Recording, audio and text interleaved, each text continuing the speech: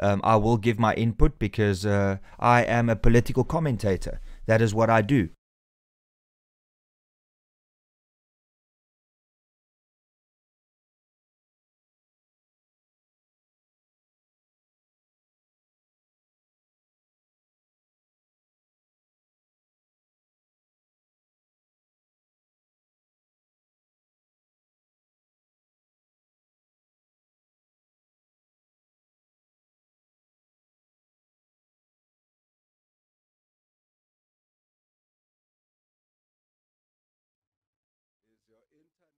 Working now? Uh,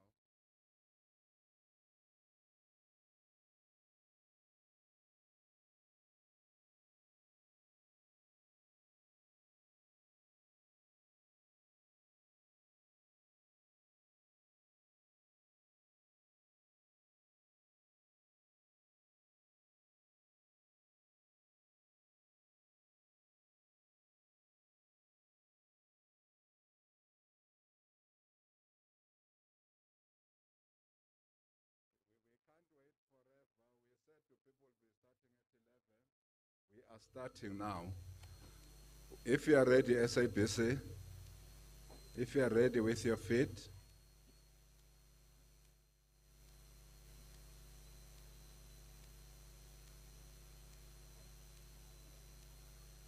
you'll tell us when you are ready. Thank you very much. To the people at home, uh, all the various sectors of the economy that are waiting for this presentation, we say good morning to all of you. The President spoke to a risk adjusted approach to easing the lockdown. We have with us today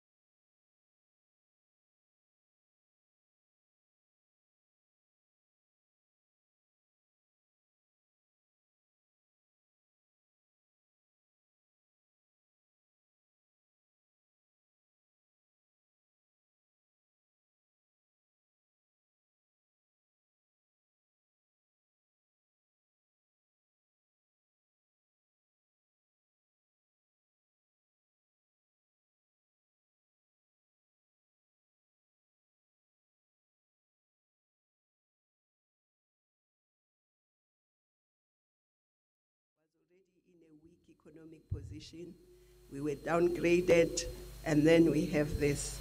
So it's a combination of all those things. And despite the advanced in technology, we don't have a cure or a vaccine yet for this pandemic. And so it means we have to rely on the measures that the World Health Organization has given to all of us. And if we don't stick to those, it will not help us because now we're going to be moving to level four. Level four means the lockdown is still there, but there will be a few things that will, be, that will change. We should not think that when we move for level four, it means the lockdown is gone. No. The lockdown is still there. There'll just be a few changes. But what is important is that there will be more people and more companies opening up and more people going to work. That's basically the major change. The rest, more or less, remains the same. And of course, we are taking all these measures to try and make sure that the curve of infection, the speed of the spread of infection is not high, so that the curve does not overwhelm our health services. Because if more people, many people get infected at the same time, there'll be more people who need hospitals at the same time, and there'll be even more people who will need hospitals and ICU beds at the same time. And if that happens, our health service will be overwhelmed and our people will not be able to get the necessary treatment that they do need. And we must bear in mind also that in this epidemic, nobody can say, I'll keep myself healthy. Our health is very interlinked. What I do may affect your own health. What you do affect other people's health. So this epidemic is showing us how our lives are so interlinked. And that's why the president and the cabinet and the country has taken these aggressive interventions so that we don't get to a point where our health services that are infected and by the numbers that need hospitalization. And of course, our, the virus has also exposed our deep, deep fault lines in South Africa. Ex they've exposed the issues of hunger and inequality. It has also exposed our special planning that we inherited from apartheid and we haven't really changed uh, in, a, in a critical way. So all these things contribute to how we must behave and how we must deal with this uh, pandemic. And let me also say upfront that if we move down to level four, which we will do by Friday, and we do not stick to the conditions, to the restrictions, to the public health conditions, and the virus starts speeding up in terms of more people getting infected faster, we will not, the government will have no option but to move very swiftly back to level five. So it doesn't mean that if we move to level four, if we stick to all the things that need to be done, all of us collectively, then we may be able to hold on on level four and eventually get to level three. But if we don't, whether it's individuals, collectives, companies, because if companies also don't stick to what they are supposed to do, and the infection in a company, the company might close. And if the numbers go up, we go back to level five. If the numbers remain stable, we may remain to level five, and if they start showing a decline, we may go to level three. So it's all in our hands, South Africans. Depends on what we do, whether we stick to what we are supposed to do or not. So we must make that choice ourselves. So there are things that are going to remain in place, and I want to put those up front so that we understand that we, it's still a lockdown, but an easier lockdown. So things like interprovincial travel will still not be allowed, except under exceptional circumstances, like people returning to work if, they are in the, if, if their sector is open or their company is open, or people going to funerals under strict conditions. Uh, so interprovincial travel is still not allowed. Or people coming back to school, universities when they do open. But other than that, you remain where you are. You remain at home, except if you are going to work or you are going to buy essential goods or you are going for medical visiting is still not allowed. You can not visit your friends, visit your neighbors, visit your relatives. That is still not allowed. Exercise will be allowed, but under very strict conditions. Things like gyms will remain closed. Organized sports or walking or jogging is not allowed, we will put very strict regulations under which exercise can be done. So I just want to put that up front that it's not the end of the lockdown, it's the easing, it's the risk adjusted approach. It's not just lifting the lockdown, but because we need the economy to start working and the wheels of the industry to start grinding, we are opening, and Minister Patel will explain how this will work. But let me just show you also where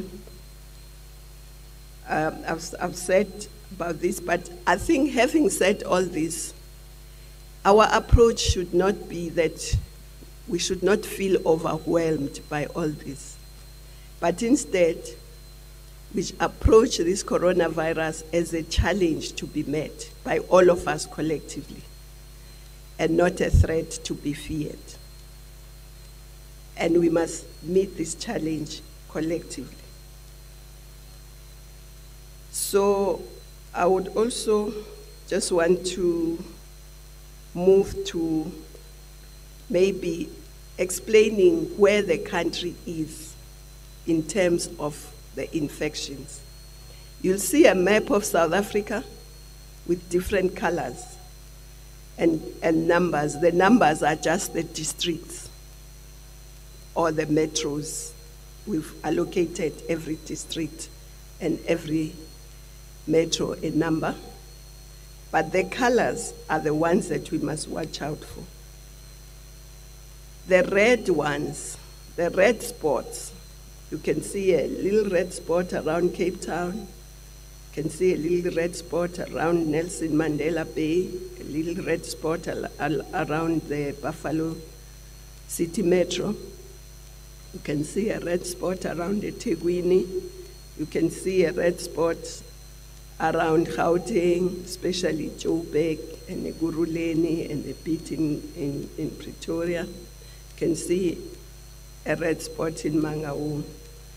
Those are where the numbers are biggest. We may say those are the epicenters. So that, that is why we do not want and we are still restricting interprovincial movement. Because if you move from Cape Town, where the epicenter is, or Gauteng or eThekwini, and you keep going home, which may be in the Eastern Cape or KZN or Limpopo or Northwest, every weekend you, you may be taking the virus to places which do not have high numbers. And if we keep moving interprovincially, we may end up with the whole country being red. And that's not what we want. And that's why we limit the interprovincial movement. It's the same as we limited the international movement. We closed our borders because people were going in of other countries, were bringing the virus, or people were coming to visit us, were bringing the virus, uh, even unknowingly, and then they tend to be positive and they spread. Now we've closed the outside borders. Now our boundaries within our pro like that as well may act like that if we keep coming to Gauteng and back or eThekwini and back. We may bring the virus in areas where the, the virus is not so much. So we must understand that every action that you are taking, what is underlying is trying to cap the accelerated spread of the virus. So as you can see, the orange parts are also parts where the spread is there. They are second to the red spots. The yellow parts are third to the, to the red and the orange spots. And then the blue are fourth. They are number four in terms of the spread of the virus. So I think that uh, shows you exactly where we are. So the whole country is going to be level four. But there, there may come a time where we would differentiate the levels. There would come, there may come a time where a particular area may be on level five, but while other areas are on level two or level three, as you can see those colors. But for now, we were all on level five and we are all going to be on level four. So that must guide us. So it's important then to remember that the lockdown will continue even under level four, but it will be easier because those who will be going to work, there'll be more going to work than in level five. But because we still have the lockdown, there, there will even be a curfew. The curfew means when you come back from work, you stay at home. It doesn't mean that now that some may be working after work, they can go everywhere. You come back home. And we will explain when you go to work, the sanitizers must be there at home or washing of hands with soap all the time. When you go to work, you must sanitize. At, when you enter transport, sanitization is important. But when you leave your house, you must have a cloth mask. It's mandatory. It's going to be mandatory to use a cloth mask as you step out of your home, going anywhere. Now we know that these masks may not be easily available for now, but if you don't have a mask, you can use a scarf to cover your nose and mouth.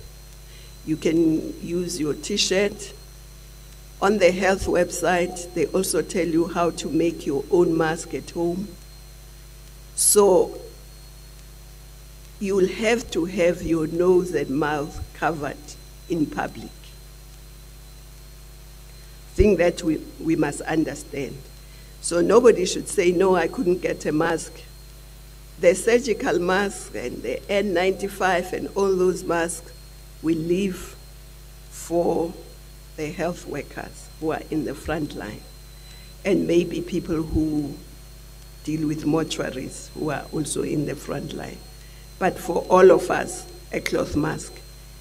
Homemade, bought, if you don't have, you put whatever you have. My scarf here can be a mask. So nobody uh, should have an excuse. And I had a cloth mask, it's only because SABC said they couldn't hear me properly, so I had to take it off. But anything that covers you protects the others when you cough or talk. You are protecting the others, but you're also protecting yourself from their droplets. So let's do that as we go to work. Social distancing is critical at home, outside, at work. Even those companies that are going, they must observe all these health uh, imperatives. If they don't, then they shouldn't open. And that's why it was said before they open, they must send a team, a small team, that's going to go there and make preparations for all this. And it's critical because industry must stick to the guidelines. Because if you take shortcuts and maybe trying to save money, you may lose more money when that company or that factory has to close because there are people who are infected. They must be screened for temperature, for cough, for any symptoms, flu like symptoms, the symptoms that we know are related to coronavirus. And if any of the worker has that, those symptoms, they can't, they can't work, but they must. So screening every day when people come to work is very important. For the protection of the workforce, for the protection of the people you interact with, because if you go to a supermarket, you interact with people there. So it's for all everybody's protection. The masks are important. Social distancing is important. So we must just stress this. And what we want to see, we want to see the whole country uh, being blue or even further than blue. Further than blue, it will mean there is hardly any, any infection and life goes back to normal. But as long as we have those red spots, and remember that those red spots are where the majority of the population is. They may look small, but that's where the concentration of the economy is in those red spots. But more than that, that's where the concentration of economic activities are. So it's a big challenge to balance because that's where the infections are, but that's where the biggest number of is, and that's where most economic activities are. So it's very important that when we open up the economic activities a bit more, the strict adherence to health, public health instructions is adhered to.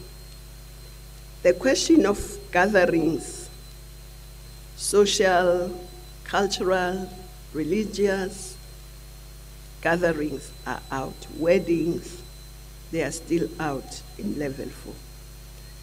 The only exception is still the funerals. And of course, that's, but other than that, gatherings are still not allowed. And as I said, people can exercise under very strict conditions. And those will be put in the regulations and directions but it will exclude any organized activity. It will exclude all the recreational facilities, gyms and all that, it's out. So we must understand that. And transport will also be there because people need to go to work. The taxis will be there because people need to work, but the protocol, health protocols must be adhered to. Masks, sanitizers, sanitizing the taxi after loads, after taking a load. And that's very important. And the 70% capacity will be kept.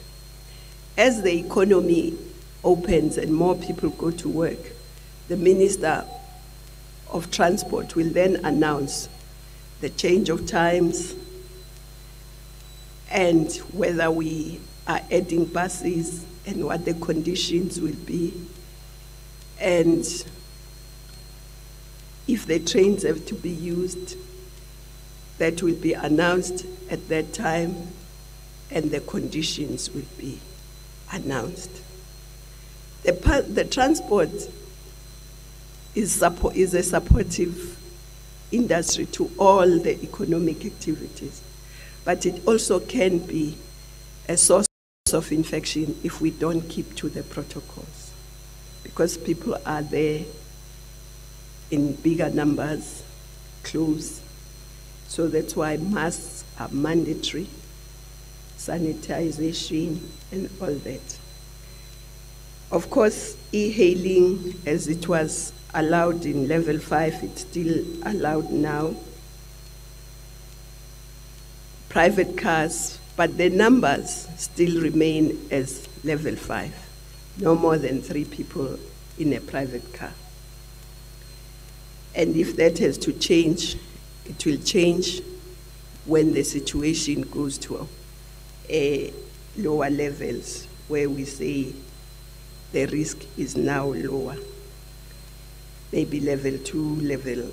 So for now, those three in a car, not more, and 70% in the taxi, e-hailing the same. So the most important thing is now to unlock a bit of the local production for local consumption and for export. That's what we are opening up the economy for. But also for purchasing of things that may be necessary for the well being of people. So when we looked at industry, we looked at what is the risk of transmission in that sector and what measures could be taken to make sure that the risk is mitigated. We also looked at what is the impact on that sector when the economy, on the, the risk on that sector if it remains closed. But we also looked at the sectors in terms of their value to the economy, including its contribution to GDP, employment, export earnings, and all the value chains. But we also looked at promoting, promotion of community well-being and the livelihoods of, of the vulnerable. Maybe I'll explain that because it might seem strange that we also looked at promotion of community well-being. But you will recall that on level five, we had to open up the issue of uh, baby goods and children up to toddlers.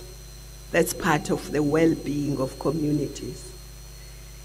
And we know that we are going into winter now. Uh, in a few weeks or a month, the temperatures will drop and people will be cold. So children will need winter clothes. Adults will need winter clothes. So we, we will have to open that up, irrespective of the other three areas, because people do need winter clothes. Children do need winter clothes. We may need heaters. So that's how we had to look at the promotion of community well-being as well and livelihoods. Because if people don't have warm clothes and it's winter, they will easily get flu. And if you get flu and coronavirus, it's not such good news. So we'll try and make sure that we, we do that. And of course, the levels, when we look at the levels, we when we look at the levels, we said there are five levels. Um, the five levels, starting with number five, that's when the economy, sorry, that's when the health is not ready, the low level of readiness, should the spread go very fast. So when we get to that, combined with the high speed or accelerated increase in infection, that's the level that we call five. Because it means the high increase with a low level of uh, readiness or capacity in the health service creates a problem. It overwhelms the health service. Level four, which is just slightly lower than that, is when you still have a moderate increase, but you also have moderate readiness in terms of health. So that combination is still not good because it means that if the increase were, if the infection were to slightly increase, then you will get into trouble. So level three is when you almost are in the middle, moderate to mild, but your readiness is also um, mild or moderate. Level two is when the increase infection is low or mild, is also not that high. Level one is where you have low infection and high readiness. That's where we want to. Level one is where we want to be, where there is low infection and high level of readiness.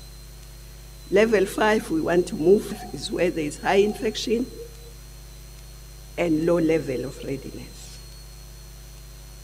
So those are the levels that we're looking at. Now we're at level four, and that's why I said to you, we can swiftly move to level five if the infection accelerates because we are not at a point where we say we're at a point of high readiness everywhere. So that might, but if we, if we keep to all the things we need to do, we might stay on level four and eventually go to level three. So I've talked a lot about what we need to do in terms of employment. Where are my slides now?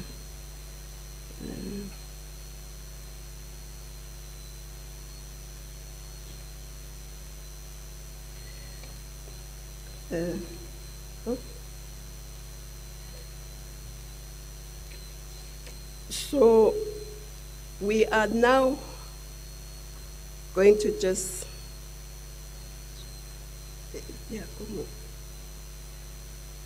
Okay, I've explained the what we what we have what the systems that we have used. System one. That's how we got to the levels. So we call them alert levels. So I will not deal with that much. I've dealt with it, and the industry I've dealt with, and the health So those are the levels, as you can see. So where we want to be really is level one, where there is low spread and high readiness. And as I said that when we test, the rate at which the proportion of the population is tested must increase. That's why we're increasing our testing. But we, it's better if those people who are tested, that the positive tests don't increase too much. The proportion of the, of the of those who are tested don't increase too much. But also the rate of fixed makeshift hospitals, quarantine areas per thousand population, that's how we measure whether we are ready or not. And of course, the rate at which the proportion of hospital beds is being utilized for COVID is increasing. If the rate is lower, that's a better place to be. And the industry I've, I've, I've explained. And we are also saying, according to WHO, and also according to our own scientists, you remember when Professor Karim spoke, he said, workers if possible, to work at home, work at home at all times. Whether it's level four or five or three, if you can work at home, work at home. But if we have to bring people to work, which has to be done, those who are age 60 and above must work at home as much as possible and must remain at home. Why? Because they are the most vulnerable to this COVID. The younger you are, the less serious the COVID disease will be, even if you get infected. The younger you are, the milder it is. And maybe you will even be symptomless, which is why this problem why coronavirus is a big problem because there are lots of symptomless people who are walking around. Nobody knows they have the virus. They don't know they have the virus. But if they spread it to older people, the older people are most likely going to have symptoms and they are most likely going to have more serious symptoms. And the mortality rate from 60 above increases. and of course, those who have comorbidities, that is, other diseases, whether it's diabetes, high blood pressure, asthma, cancer, other immune suppressing uh, diseases, you have a problem, TB, lung problems. Then, if you have that already and then you get COVID, then it's a, it's a serious combination. And that's why we are suggesting that those who are over 60 work at home as much as is possible and be kept at home as much as is possible. And of course, uh, in terms of income, there should be engagement with the employers and UIF in terms of how they can be compensated. And as I said, workplace protocols, health protocols must be kept, surveillance, testing, screening must be there all the time. And even the things that we have taken for granted, biometrics, unless you are going to put your finger, clean, finger, sanitize, finger, sanitize, it might be better not to use it. Because if one person is carrying corona in their finger and they leave it on the biometric place and somebody puts their finger, they'll take it with them. And many other people will end up infected. So it's very important that we ensure that we look at all those things in detail and how they can affect health. That's why even in funerals, we've limited the number, but even limiting the number is not enough. We have to change the culture. Because if you are closing the grave and you are exchanging spades or shovels, then somebody leaves corona on that spade. Probably all those who have touched that spade might end up with it. That's why it's important to sanitize your hands, to put a mask on. Even after the funeral, we tend to have food and we serve it in, serve it in a buffet style. Then we put one spoon for everyone to dish. If it's rice, there's one spoon for all 50 of you. Now, if I'm the first one or the third one or whatever, and I have coronavirus, and I take that spoon I dish, the next person will end up with it. So that's why sanitizing all the time is so important. Wearing a mask is so important, but also trying to do away with those practices that actually encourage the spread of the virus. In some of our cultures, when we come back from the grave, we wash hands in one basin. Those, those practices must be changed because if we wash hands in one basin, we may be putting coronavirus in the basin and other people may get it. So there are so many culture change things that we'll have to address with this coronavirus. So there, we are just stressing what should happen in business in that slide.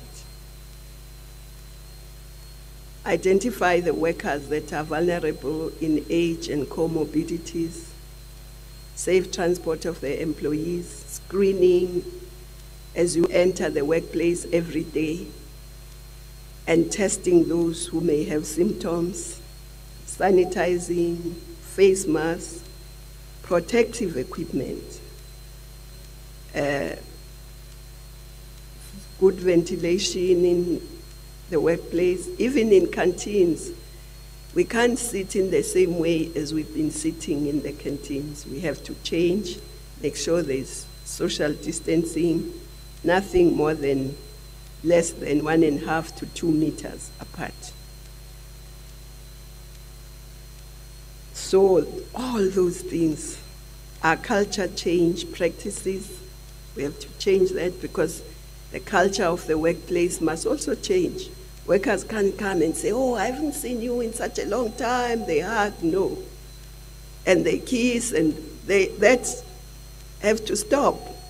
Whether you have seen that person or not, if you want to really greet and with touching the person, you can do it with your elbow or with your feet. We should just try to avoid. Maybe hi or something. But touching is the thing of the past. At the workplace, public place, no. So these are some of the things that we have to do. And we are suggesting that companies that have big workforce must test randomly, besides the screening of every worker as they come in. But they must also test just to ensure that we are not sitting with a lot of uh, symptomless people who are just quietly spreading the virus. Because if the virus spread in a workplace, that workplace needs to be shut down. So it's, it's very important to ensure that those things. So we will be putting out regulations and we will be uh, giving the sectors unions and others the document so that they can make comments but also be prepared for what is to come. Uh, Minister Patel will go and explain around the sectors what are the things that are changing. That's the important thing to know what's change, what is changing from five to four. But I want to just also emphasize that coronavirus is a collective challenge. It's not government, it's not Department of Health, it's not individuals, it's not industry, it's collective challenge. That will require shared sacrifices. The impossible goal of going to level one and zero. It Seems impossible, but it will be possible if we take this as a collective challenge. But also remember, we have to make some sacrifices. It's not punishment, it's sacrifices that we must make for our country, for our economy, for our fellow citizens. And the last reminder is also that it's not the health measures that will destroy the economy. It's the virus, the pandemic. So if we don't stick to the public health imperatives,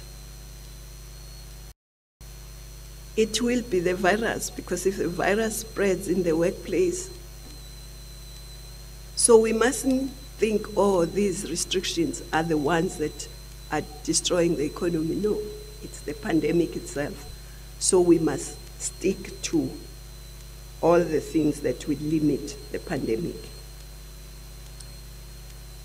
Eh ngizothi nje shwanqe nje ngesizulu. Njengoba umongameli ebese ememezelile ukuthi i-lockdown le lesimo ebesikusona eh sizothi ukushintsha nje kancane kodwa asivulwa akusho ukuthi njengoba sizosuka kulevel yesihlanu siya kulevel yesine sekuwalala. Wonke umuntu nje usezokwenza noma kanjani? Cha akunjalo. Into ayimemezelile ukuthi sizoloku si-adjusta kancane sibheka nje ukuthi ubungozi bungakuphi si-adjuste kancane silungise kancane. So kuzoba ne nokushintsha nje kancane kusukela ku5 kuya ku4 kodwa ngoba isimo asikashintshi kukhona izinto ezingezushintsha okufanele sizisho nje saqala singaze sithi mhlambe ngolwesihlanu hawu sobe sesikhululekile nje sekuma kamachanca empunzi edlemini cha kobe kungenjalo. Askezuvakashelana sisazohlala ekhaya. Uphuma ekhaya ngoba uyapi uya emsebenzini. Uphuma ekhaya ngoba uya kadokotela noma uyofuna umuthi. Uphuma ekhaya ngoba uyothenga ukudla. Ubuye lokokudla uzokupheka la ekhaya kudliwe. Eh akezuba nje kamachanca asikezuhamba nje siyothenga utshwala sikhululeke cha. Ayikezuba khona leyo nto. Asikezuhamba futhi sivakashela amaphondo usuke eKZN uthi cha manje ngibheke eGauteng cha manje ngibheke eKapa cha ayikezukwenzeka leyo. Uhambo bakhona olwabasebenzi lapho inkampani zabo ezivula kabusha bezosuka la kade bekhona babuyele emsebenzini. Uhambo olingabakho mangabe kunesimo esingasazi esingajwayelekile noma kunesimo somncwabo nakhona imncwabo ingane obaba omkhulu kuphela akabi ivulelwa nje ukuthi omzala nomzala kamzala. Cha kuseyisimo esisaqinile ngoba isimo segciwane asikashintshi kakhulu. Sishintshile sona kodwa hayi kakhulu. Abantu abazovunyelwa futhi ukuhamba yilabo mhlamba abasebenza eGauteng. Kodwa babe behlala eMpumalanga noma behlala eNorthwest labo bazovunyelwa kodwa bazofanele ukuthi babe nepermit abayitholayo. Nezingane zesikole isikole mas izikole mase zivuliwe ezifunda kwenye iprovince kodwa lihlala kwenye zihamba zonke izinsuku nazo kuzofanele zibe nepermit.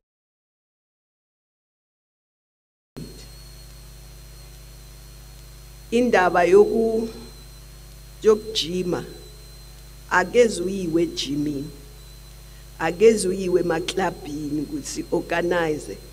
Asikwazi nokuorganize siwomakhelwane ukuthi hayi ake siorganizeni siyogijima cha. Uzoba uku-exercise sizokusho emthethweni esowukhipha ukuthi kuzokwenzeka kanjani kodwa kuzoba strict kube limited ngoba isimo asikavu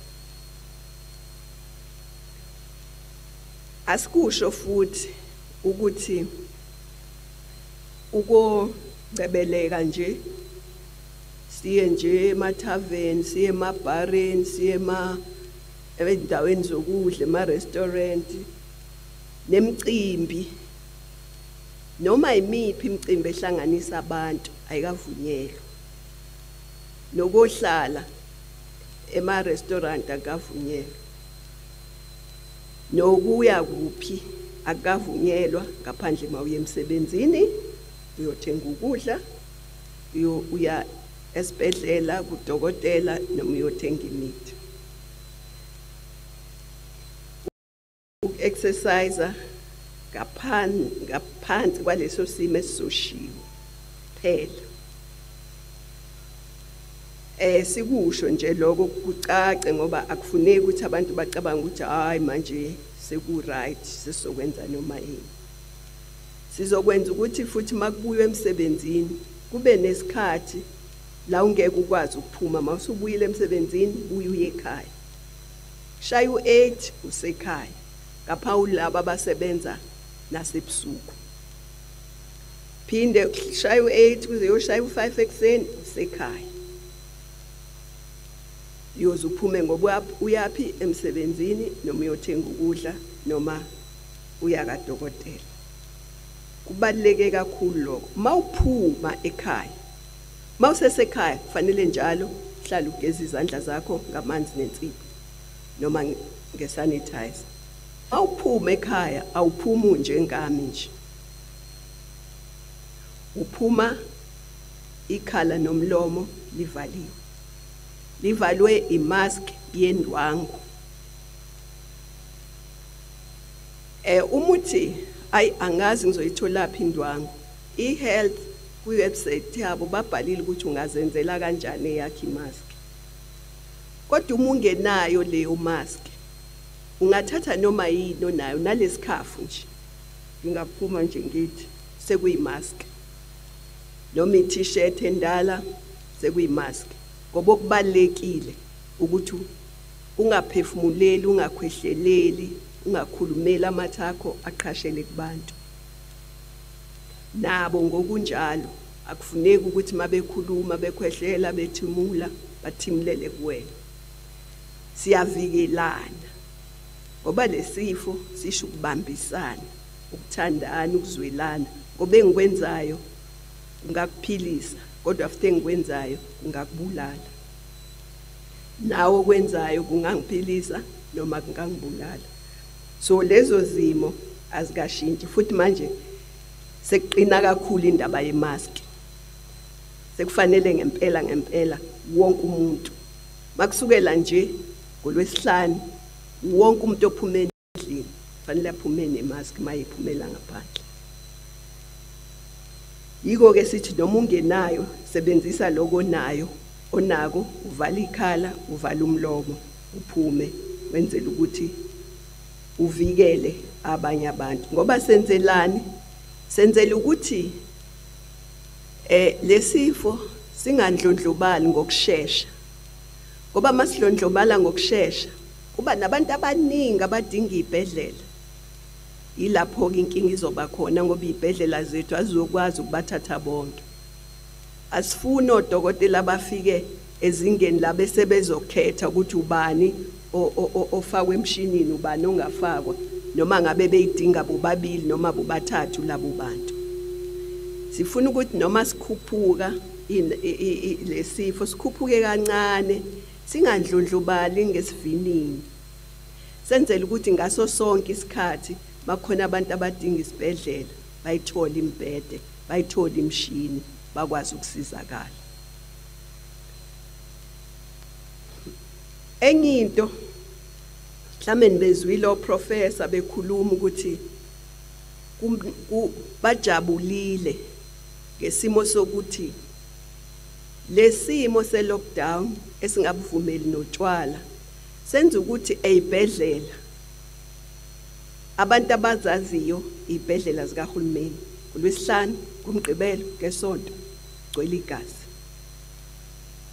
Gcwele abantu abalimele abagwazene abadubuliwe abarephiwe gcwele yonke inhlobo yento. Wena ungafika ugula nje ugcina ufele esibhedlela ngoba asikho ispace. Imshini le ithathwa yilabantu nenhliziyo egwaziwe kuzanywa ukuthi aphiliswe ayiswe theater ayiswe ku ICU so mawungaya kule ibhedlela ungacabanga ukuthi ukwenye indawo. Mawungaya ebhara uye Steve Biko uyephi kule insuku nangama weekend ungacabanga ukuthi ukwenye indawo. Ngoba asikho leso simo kakhulu. Namaphoyisa ayasitshela ukuthi ibalo zabantu ababulewe zabantu abadutshuliwe abagwaziwe abarephiwe zehle kakhulu. Siyathanda ukuthi njengoba kusenalesifo sisigcine leso simo. Sisigcine leso simo ngoba isona simo ngempela okufanele ngabe sikusona siyilizwe la. Kungashi ukuthi oh ngama weekend eyibhedlela inkinga. Kuze kusuka odokotela abaphesheya bezopractice i-emergency eh treatment la ngoba eindaweni zabo ayikho lento ekhona la eSouth Africa. Ake sizame ukuthi ngempela singabi isizwe esidume ngokuthi siyagwazana siyabulalana siyarephana senzani.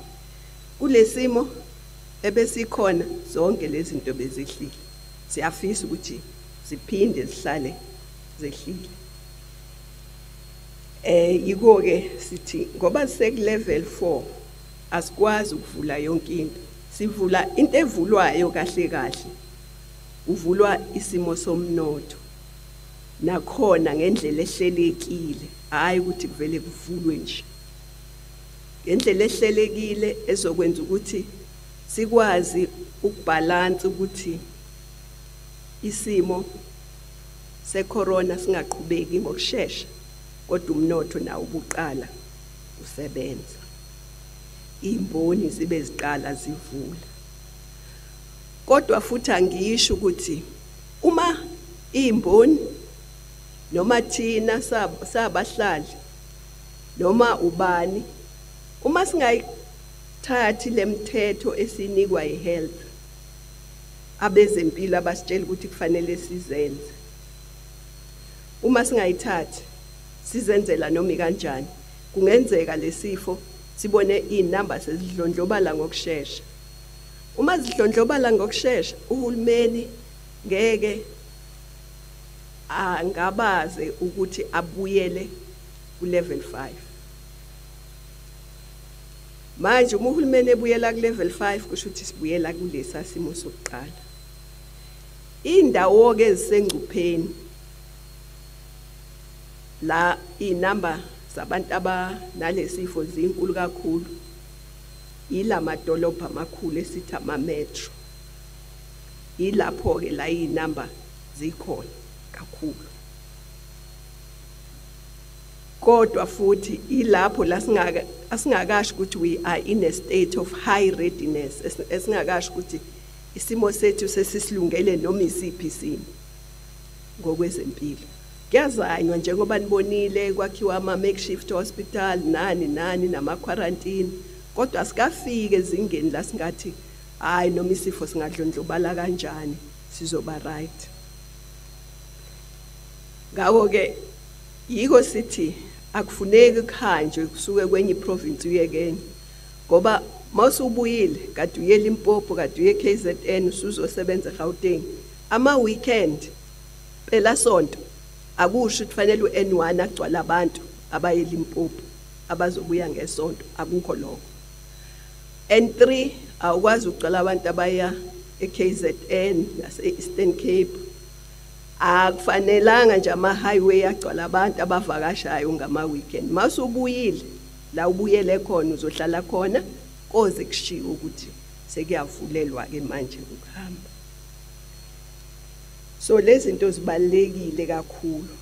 Makiwe emsebenzini kufanele yonke into ilandelwe ngoba uma ungayilandeli umqashi engayilandeli imithetho yezempilo izovalwa leyo ndawo. Ayizuvalwa imithetho yezempilo izovalwa ivirus ngoba ivirus izo izongena kubasebenzi fanele kuvalwe. So kubalekile ukuthi sonke senze okufanele sikwenze. Ukuze umnotho uqale ukuthi abaqashi benze okufanele thina senze okufanele. Uma senza kahle yonke into nesimo sale covid singandlondlobali singakwazi ukuthi siphinde kuvuleke futhi siye ku level 3 uma ngabe sing- singakwenzi futhi kunokwenzeka ukuthi sibuyele ku5 usho ukuthi kusezandleni zethu empeleni ukuthi siya ku3 masisuka ku4 noma sihlala ku4 noma siya ku5 kusezandleni zethu ukuthi senzani siyayilandela imithetho ngokufanele. Ekubaleke kakhulu kakhulu kakhulu lokho. Uma singakwenzi lokho sibuyela ku5 kodwa futhi ukubuyela ku5 kuyingozi ngoba kungenza ukuthi i- ibhedlela zethu zingakwazi ukuthatha wonke umuntu odinga usizo.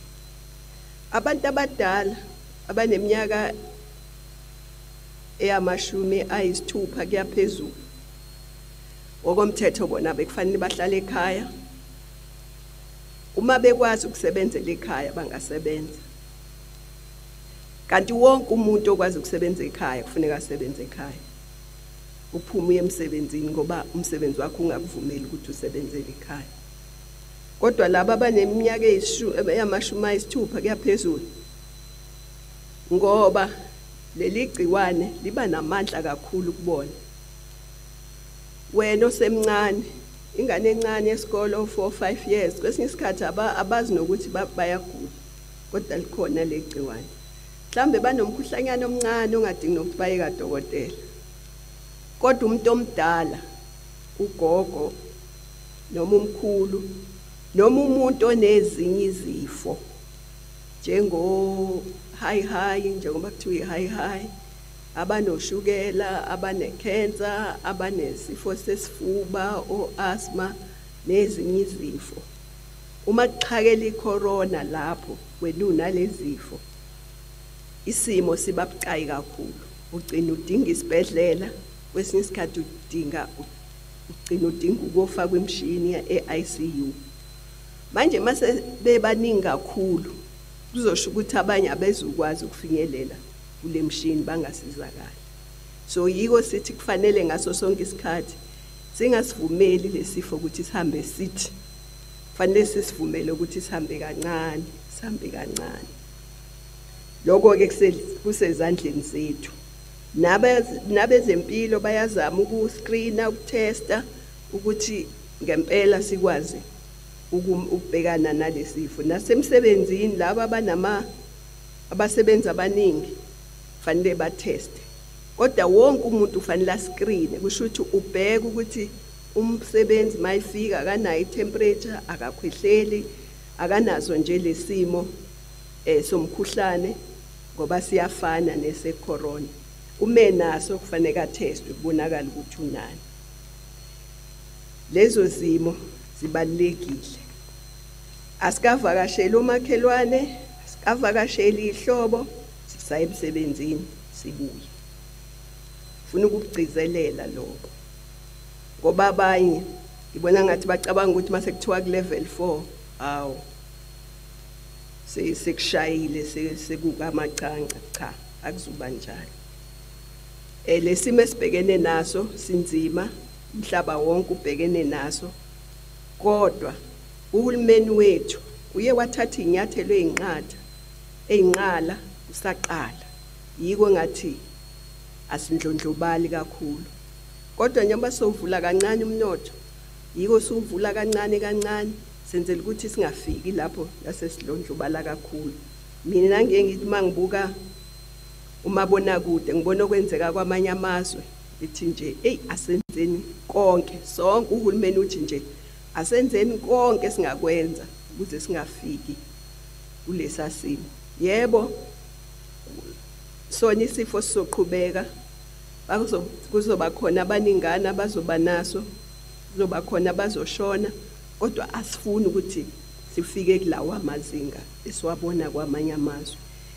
Ngako ke asibambisaneni inselelo le.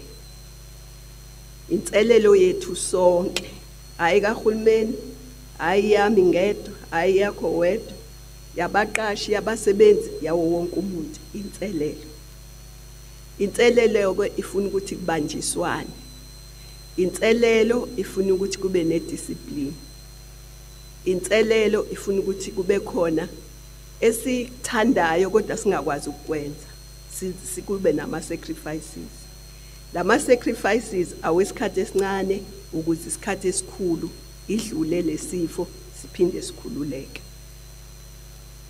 Siyazi futhi ukuthi lesifo sizivezile into eziningi eziyingcaki la kulelizwe lethu indlala ukuhlupheka kwentuleka kwemsebenzi zonke lezo zinto uhulumeni kodwa uthe khona imizamo niyazi umongameli uyimemezele ngesonto elizayo iyochazwa kabanzi.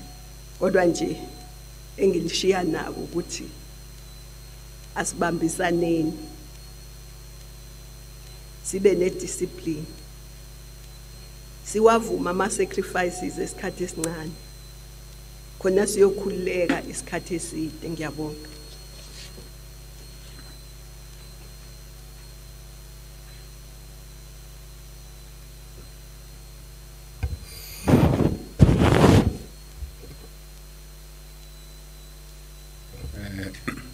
Sibo sibonge kungqongqoshe sibonge kakhulu eh nakubalaleli emakhaya. Sesizawunikeza ke umunye ungqongqoshe osezosiqhazela ukuthi njengoba sivula kancane njengoba sesiya ku level yesine bese ku level yesihlanu sobe sesiku level yesine ngalosihlanu lo ozayo uma kuphela le date le yange-30 lo level 5 esesekuwona. So ke sisezawucela ke ngokukhulu ukuzithoba ukuthi uminister uPatel eze ngaphambili azosichazela ukuthi na yiwapi lama economic activities noma sectors azokhona ukuvuleleka ku level 4 uh, without any further ado again we have said to people at home because we would like to reach everybody uh, we don't want to reach only those that can understand English. Uh, if it was possible, we, could have spoken in every language that is uh, an official language in our country, but we are trying the best we can. Having said that, we now call on the Minister of Trade and Industry and Competition, Minister Patel, to come and speak on the sectors uh, that will then be allowed to operate under level four in a few days' time. And not tomorrow, by the way, and not after tomorrow, but in a few days' time after the, the after Friday, on Friday, in fact, on the first. The first is on Friday, on the first of May. Um, Mr. Patel, the platform is yours. We will, are coming with your computer, we will save you.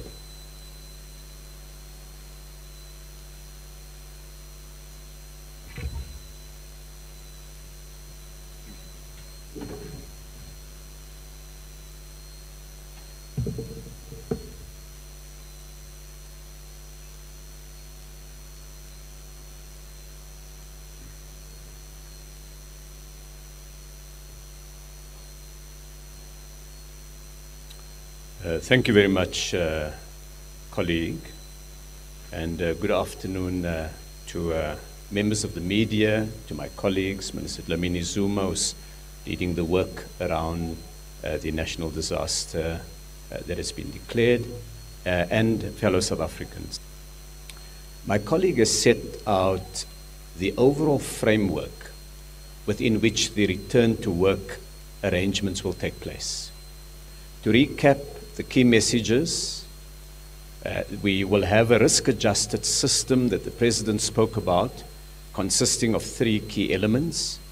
The first is a new alert system to measure the degree of risk from the highest being level 5 to the lowest being level 1. Second, we'll have an industrial classification system to indicate the economic activities that will commence and showing South Africans how they are affected by each of the levels.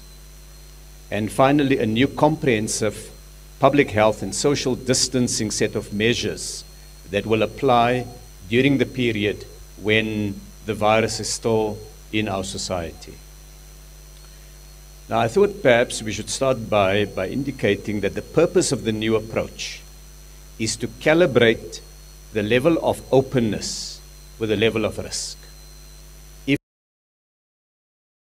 if we have high risk, there are fewer economic activities and less social movement, the economy is able to expand and more movement becomes possible. And so it allows us to restart uh, or increase as many economic activities as is possible given the level of risk.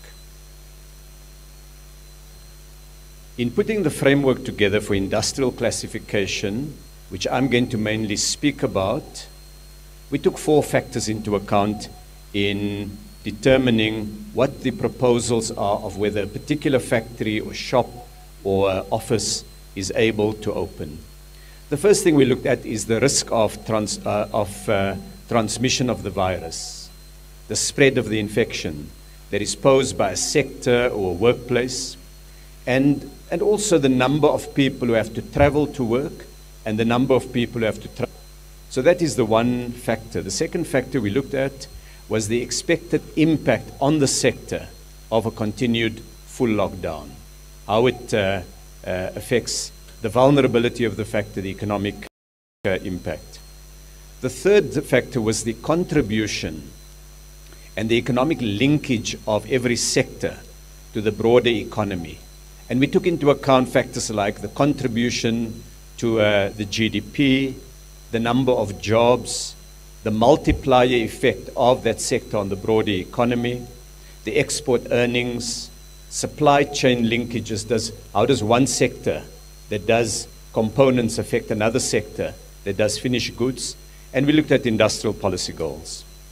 The promotion of community well being was the fourth factor and that, of course, goes to the question of livelihoods of the most vulnerable in our society. These factors have been applied to each of the different sectors in the economy. We took some numbers, quantitative measures, as well as some judgment calls, which are qualitative factors, in these assessments. I want to recognize that it's been a difficult and complex process and a hard balancing act. Every industry, every workplace, every worker wants to return to work.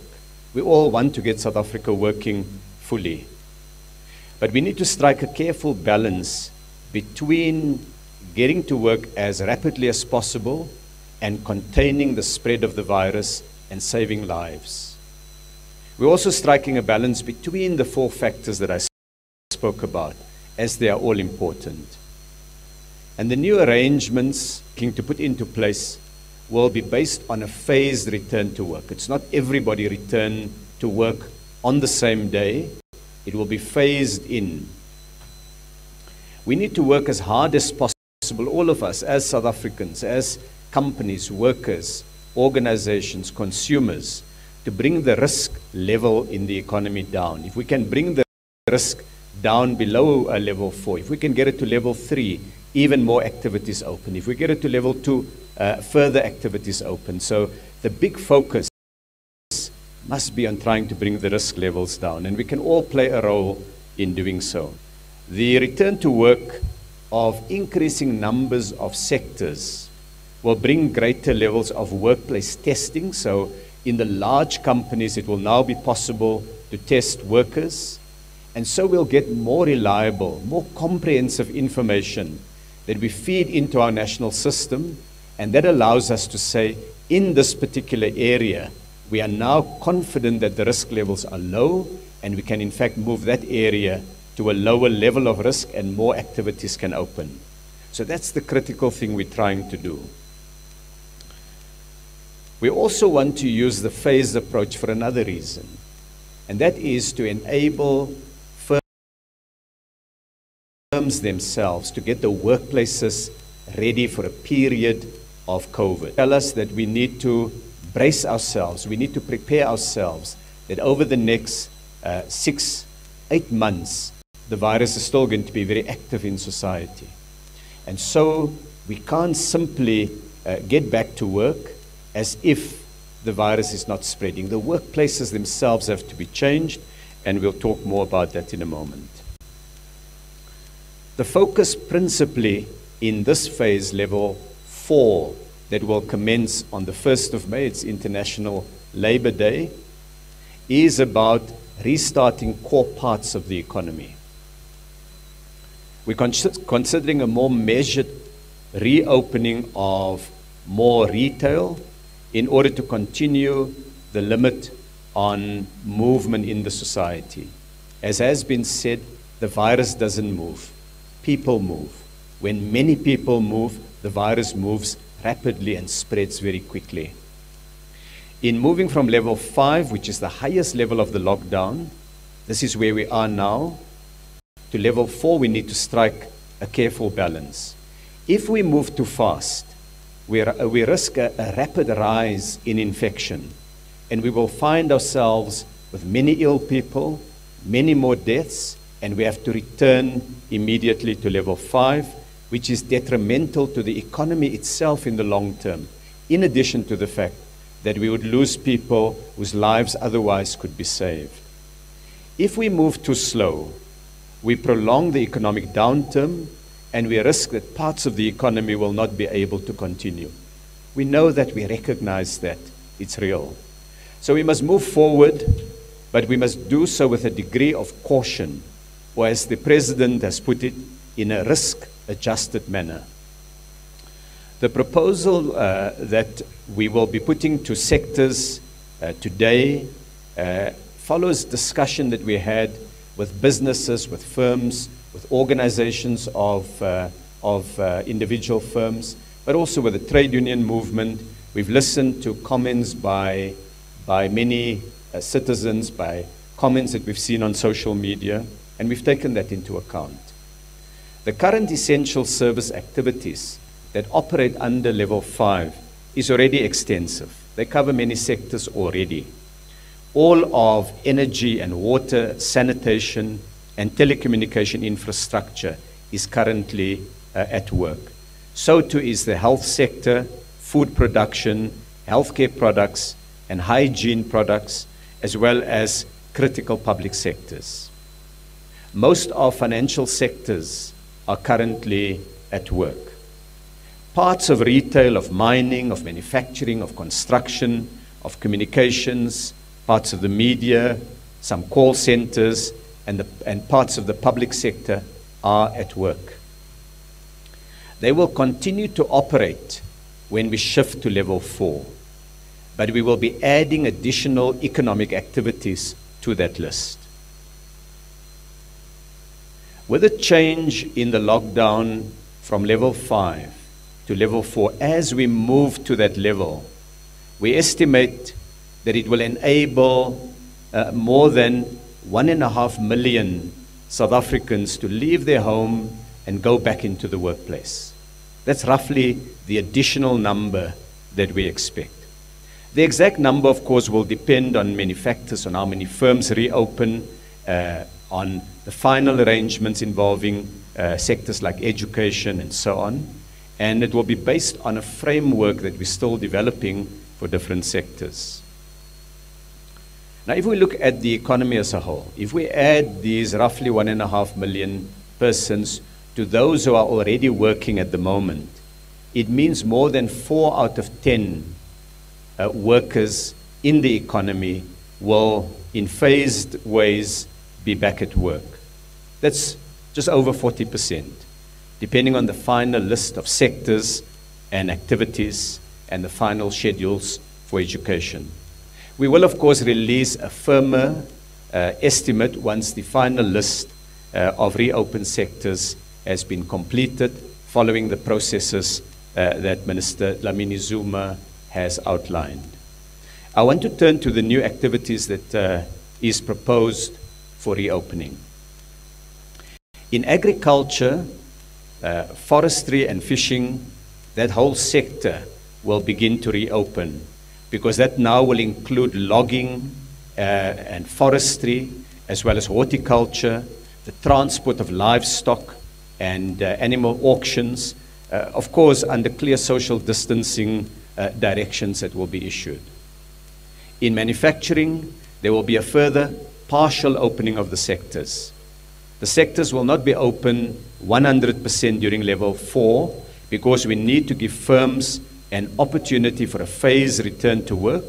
We need to begin to test the systems at factory gates, at work areas, in the canteens, in bathrooms, in the screening of workers, in transport, uh, in arrangements for those who have the symptoms of COVID 19. And of course, also to progressively increase the number of people who are on the road moving to work and moving from work. As a broad baseline, uh, 20% of all manufacturing workers will begin to restart during level f- uh, 4, but some subsectors of manufacturing will have a higher number of workers, a higher proportion of workers who will be able to return progressively to work. Still not to 100%, but to more than 20%. They include uh, the following sectors children's clothing and winter clothing. We know how important it is for families to be able to get warm clothing. Part of fighting the virus is uh, to avoid the cold.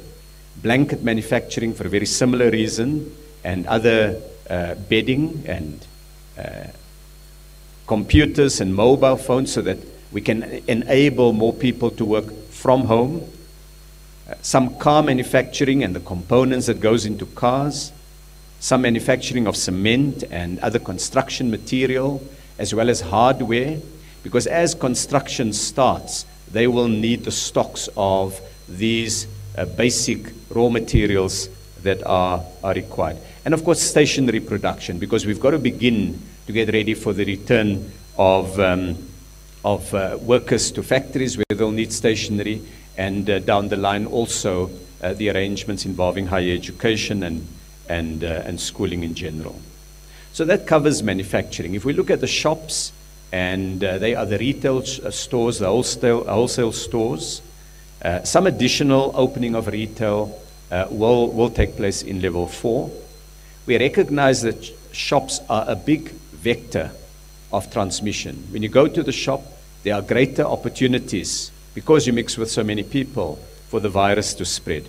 So we really want to appeal that visits to the shops be as infrequent as possible, only go when it's really necessary, and keep it as short as possible. And we have to maintain social distance and adequate sanitation arrangement in the various shops. When I'm talking of retail, I'm of course not only talking of the large supermarkets.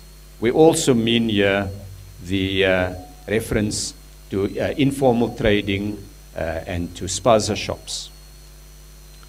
The categories of retail uh, sales that will be expanded include children's clothing, winter goods like winter clothes, blankets, and heaters, stationery and educational books, tobacco products, uh, and personal ICT equipment. Those are things like computers and um, Uh, uh, uh, mobile phones and other home office equipment. I move next to mining. Mining has already uh, begun the process of workers returning to work. They do so in batches because of the large numbers involved. Not all workers in mining can go back at the same time. And my colleague, Minister Mantashe, has already outlined how that process will work. In level four, the new addition is that those workers who work in open cast mining, in other words, not underground, uh, they will be able to go back in larger numbers, again in phases, but returning uh, in the period from the current uh, 50%, eventually uh, in phases to 100%.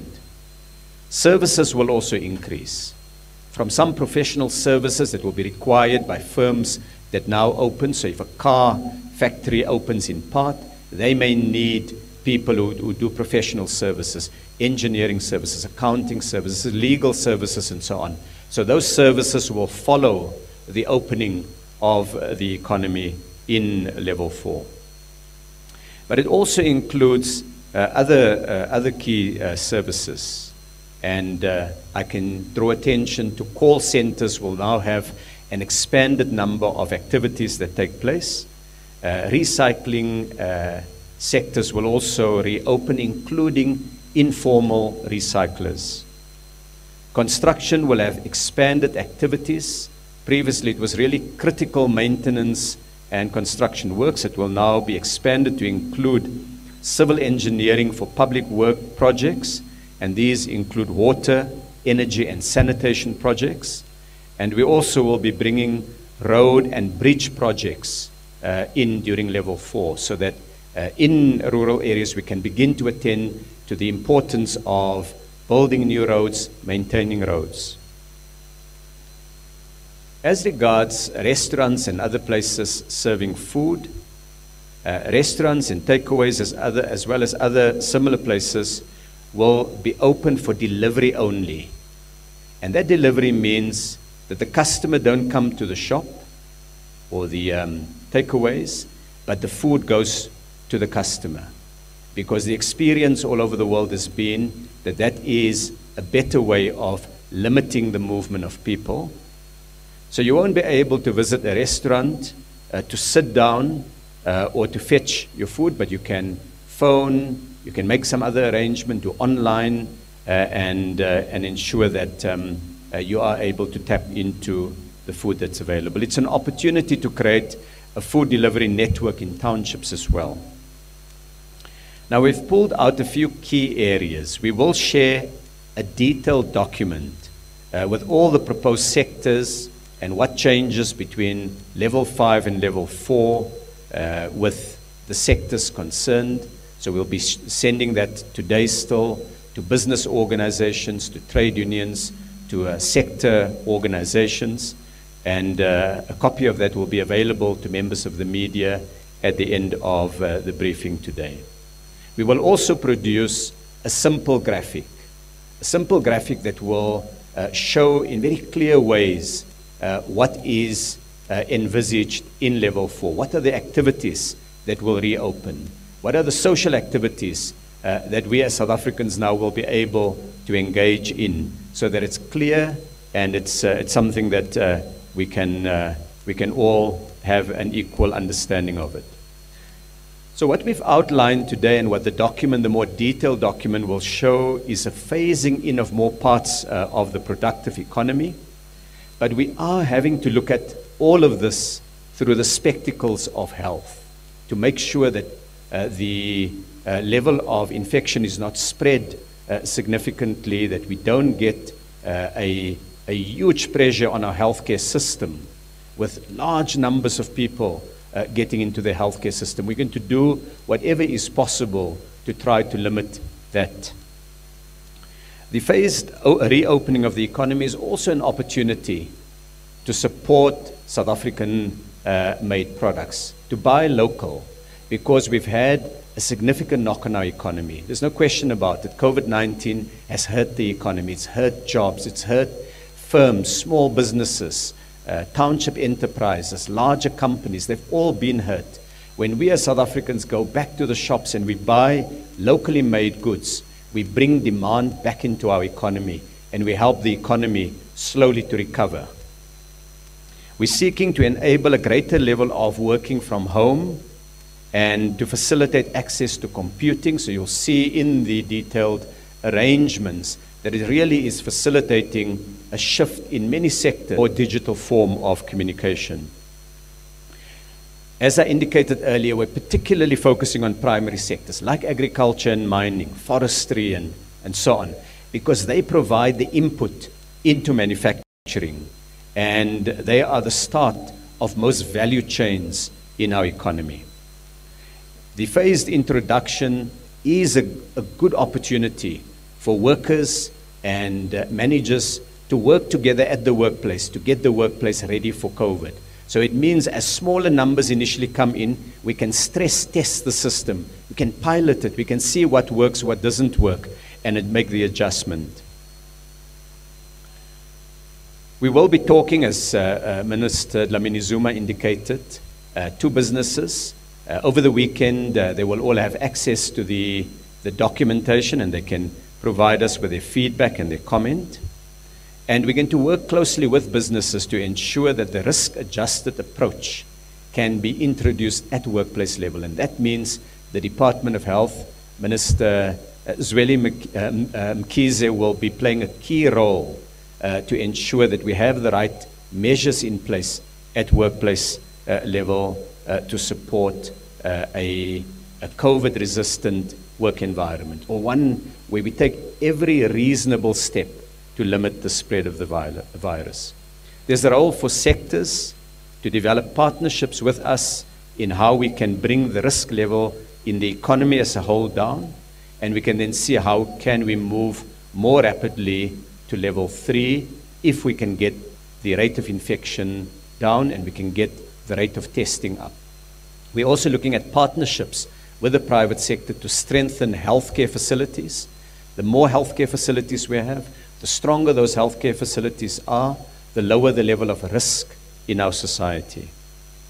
The new arrangement will increase reliance on uh, new ways of doing things, new partnerships, it will strengthen the digital economy.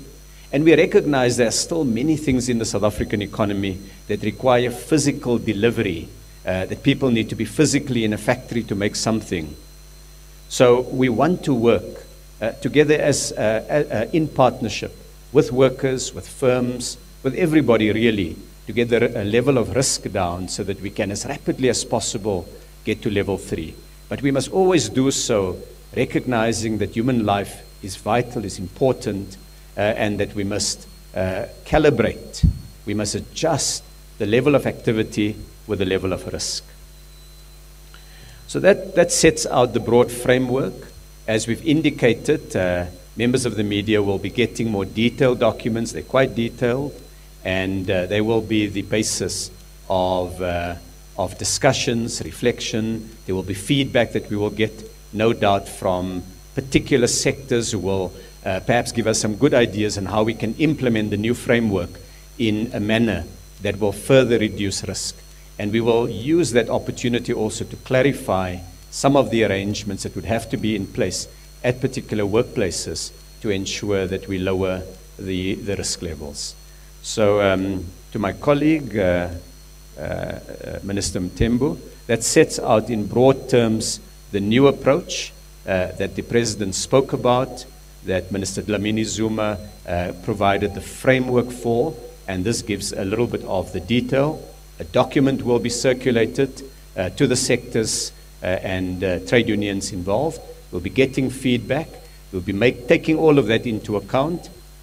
And in the course of next week, having taken uh, into account uh, the, the feedback that we've received, the intention then is to publish this document, to gazette it together with the regulations uh, that would then apply, particularly in respect of level four, so that everybody knows for level four what is expected. So the feedback we're seeking in the next period is particularly around level four to enable us to move uh, swiftly with as few challenges and difficulties between level five and level four.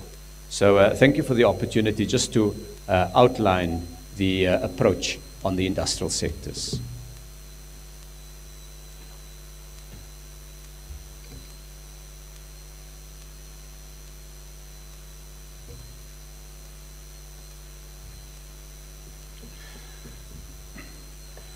Thank you very much, uh, Minister Patel uh, and uh, Minister Dlamini Zuma.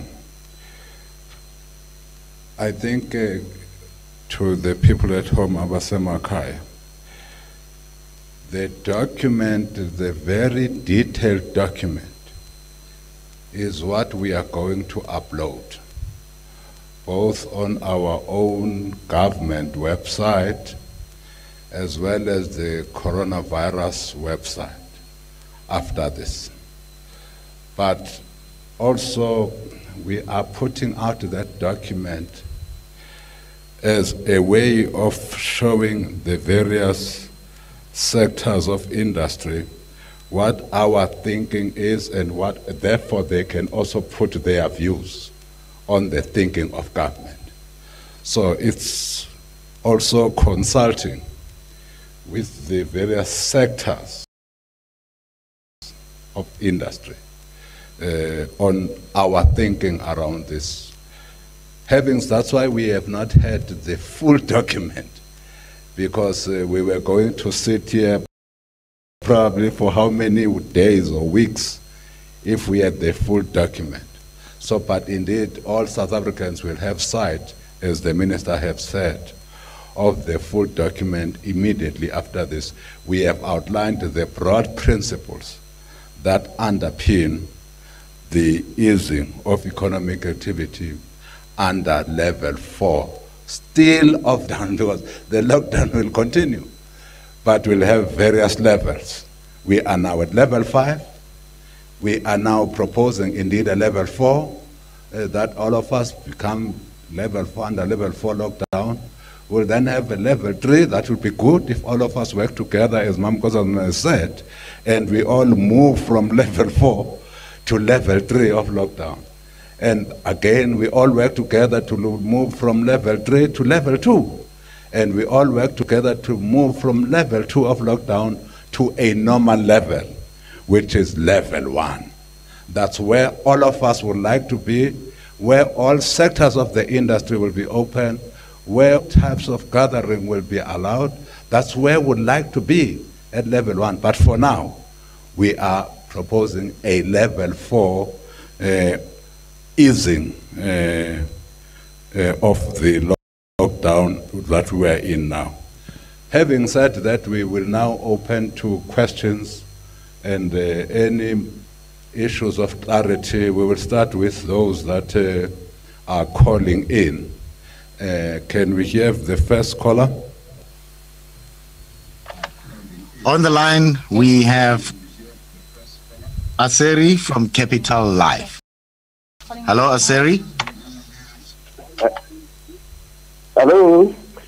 As- Asari, you are most welcome. Can we hear you? Can we hear your question? Go ahead, Aseri. Yes, uh, my name is Asel from Capital Live. Uh, I just want to quickly ask Minister uh, here.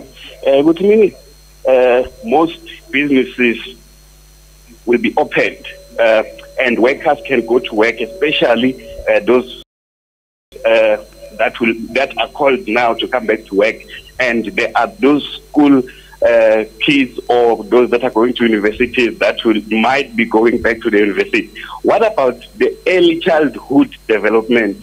What is going to happen with the kids when the parents and the brothers and sisters went to school? Is the early childhood development having any plan or what is the way forward there? Thank you.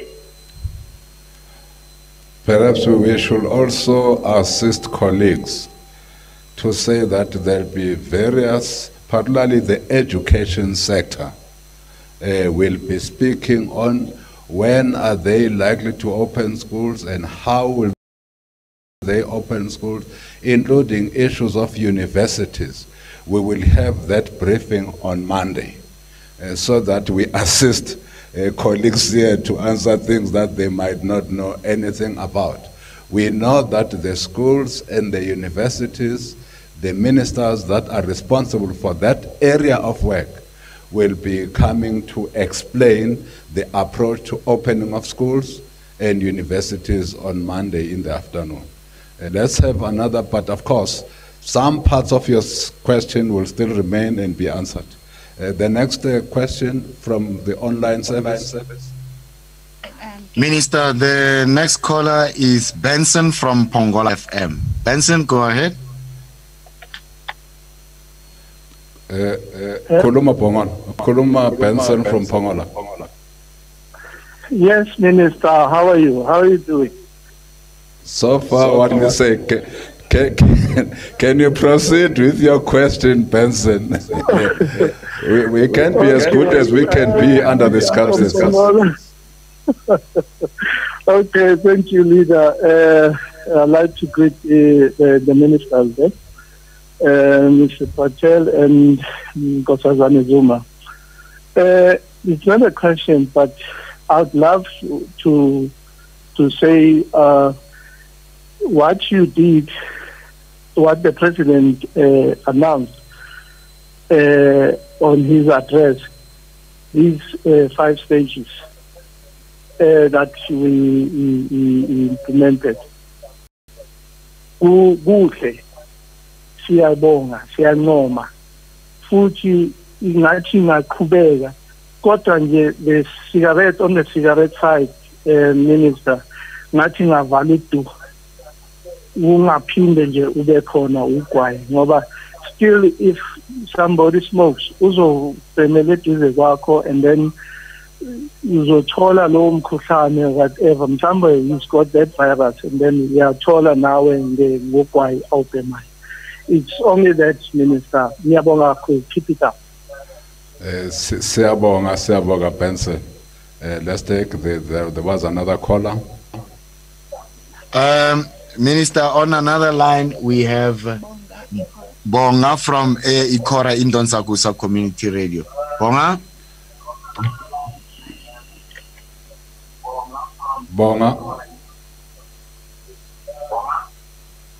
Hello. We, we are. Bonga, we your are question audience. or comment, please. umbuzo wami mfishane nje eh, ubheke kungqongqoshe umhlonishwa udokotela uDlamini Usunqamukile, usunqamukile ke baba. We, we, we will come. ngesihlanu bese kumbuzo wami ulandela isikhathi ngokuthi ibhekisile yini imithelela emibi engase ibe khona uma kuvula ugwayi ngoba ugwayi nje uwodwa ungahlanganiswe ne-corona uvele inkinga empilweni lokho nje kuphela umbuzo wami Thank you very much, uh. We, we, we will now take uh, questions that uh, are on our other system, our WhatsApp system. Uh, Um, thank you, Minister. The first question. Can we hear you properly, please? Uh, yes. Am I audible now? You, yep. Yes. Oh, thank you. The first question is from Anton, Anton Swartz from ARD German TV. And his question is with the, with the relaxing of the lockdown restrictions and the phased introduction of industry, will the repurposing of technology be part of the short to medium term strategy? And he's specifically looking at examples of clothing industry making face masks and specifically at the diverting of space age technology from SKA and CSIR engineers to the NVP program. The next question is from Geoff Hill, The Washington Times.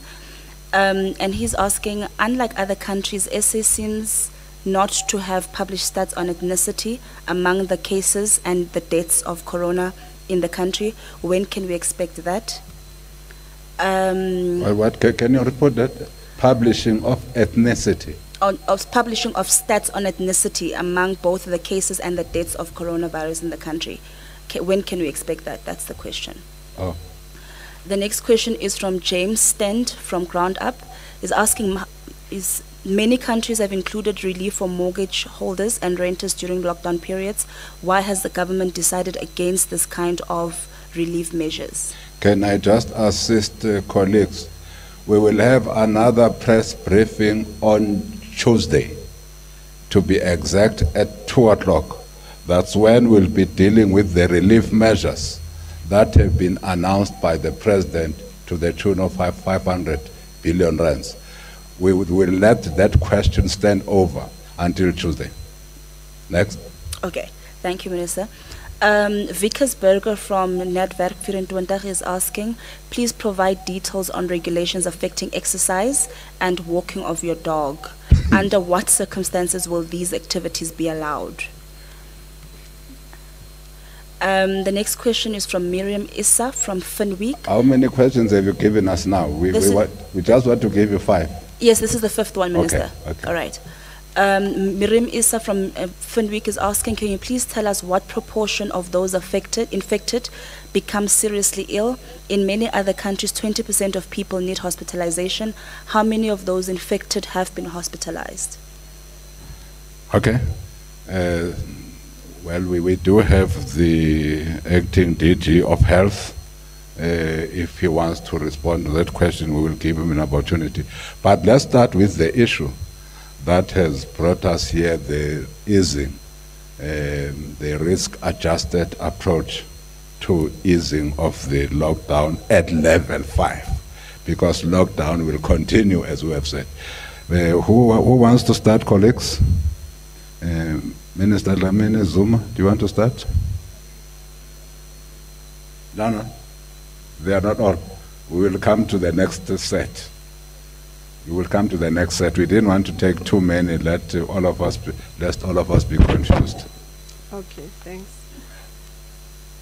Um, I think on the first one, the ministers of education will come on stream maybe next week to explain the different phases and who will, which grade and who will come uh, to school when, and eventually they will also clarify on the issue of um, the, the younger kids who may not necessarily be at school.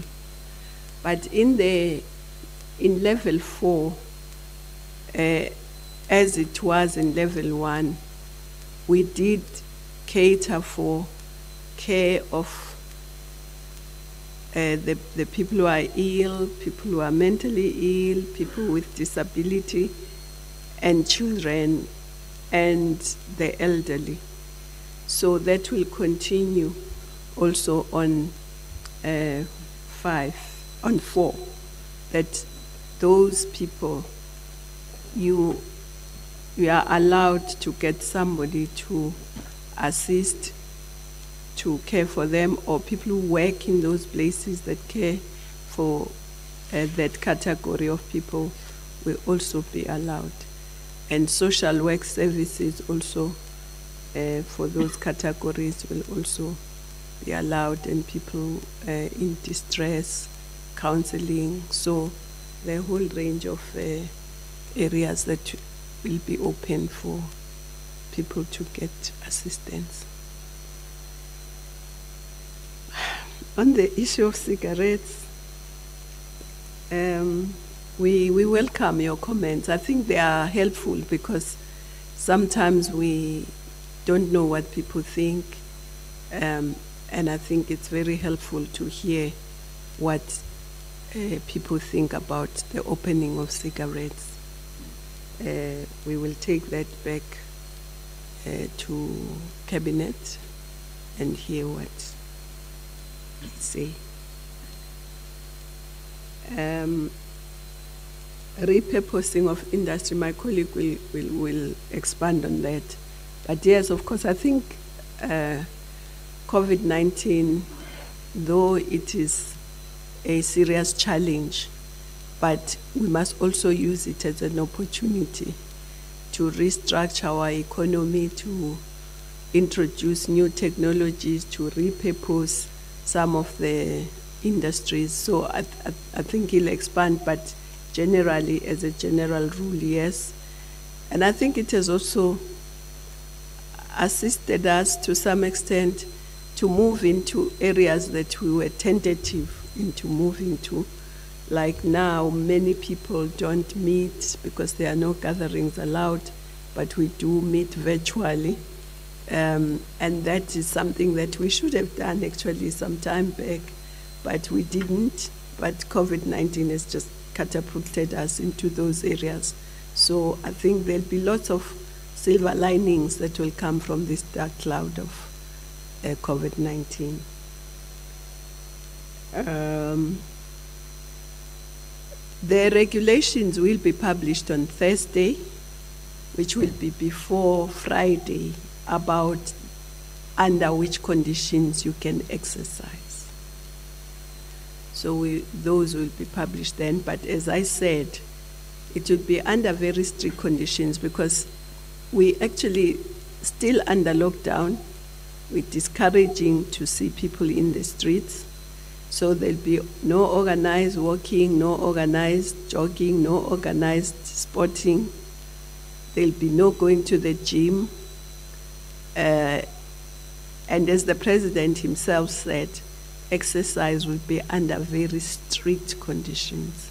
So those conditions will be spelled out in the regulations. Um, the issue of mortgages, I think you have said it will be expanded on next week uh, by the relevant ministers. Uh, the issue of the proportion of those who are ill and maybe the breakdown of statistics. Uh, we are happy that we have been working very closely with the health department, and even now the acting DG of Health is here. Maybe he can assist us on those questions, uh, but Minister Patel may expand on some. Thank you. Uh, Minister Patel, those that you can take, I hope you can zoom. Are you able to zoom to the Minister of Trade and Industry and Competition?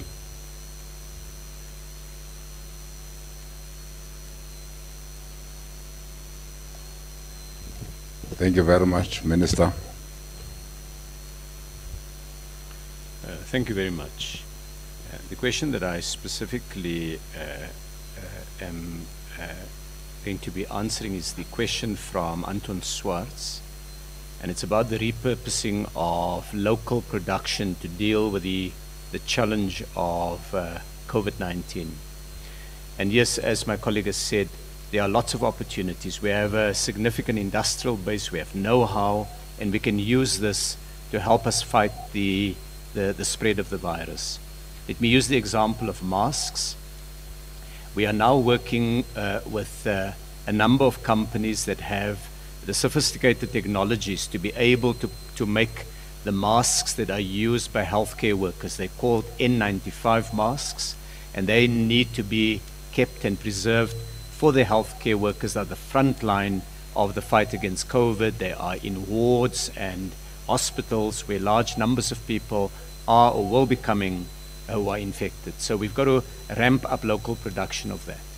But we're also making uh, and, and, encouraging uh, the making of cloth masks. I've been wearing this cloth mask that has been made by a small uh, firm. And uh, large companies as well as smaller businesses, particularly smaller businesses, can have this as an opportunity. So in discussion with the clothing industry, in which of course there are many small businesses, uh, we are able to get uh, a ramp up of cloth face masks that we'll all be wearing in public uh, in future. And in fact, the Minister of Small Business Development has also been doing some excellent work to try to stimulate uh, the growth of uh, uh, uh activities in the clothing industry to help. Uh, members of the media will see that one of the products that will be added in uh, level four are the textiles that are used for the manufacture of face masks so that people can get access to it and, and make it. Some of the face masks can even be made at home, and indeed, the National Department of Health has already issued guidelines on its website of how you can make your own face mask uh, and, uh, and wear, wear it, uh, covering the nose and mouth when we are out in public areas. So that's on the one end of the technology spectrum. On the other end of the technology spectrum are ventilators. COVID 19 attacks the respiratory tract. And so, very often, people who are, who are infected have difficulty breathing. And there's a range of supports that they need from the time you're at your house, uh, uh, when you are, you are fetched. Um, you may need an ambu bag, which gives you the first line of support uh, when you have difficulty breathing. You get to the hospital, you may need what is called a nasal cannula that allows uh, oxygen to get into your system. As uh, some patients' position deteriorates, you may need uh, what is called a CPAP, which goes over the face. Uh, and um, eventually, for, for those who still don't recover in that period, it may require more uh, invasive um, uh, ventilators.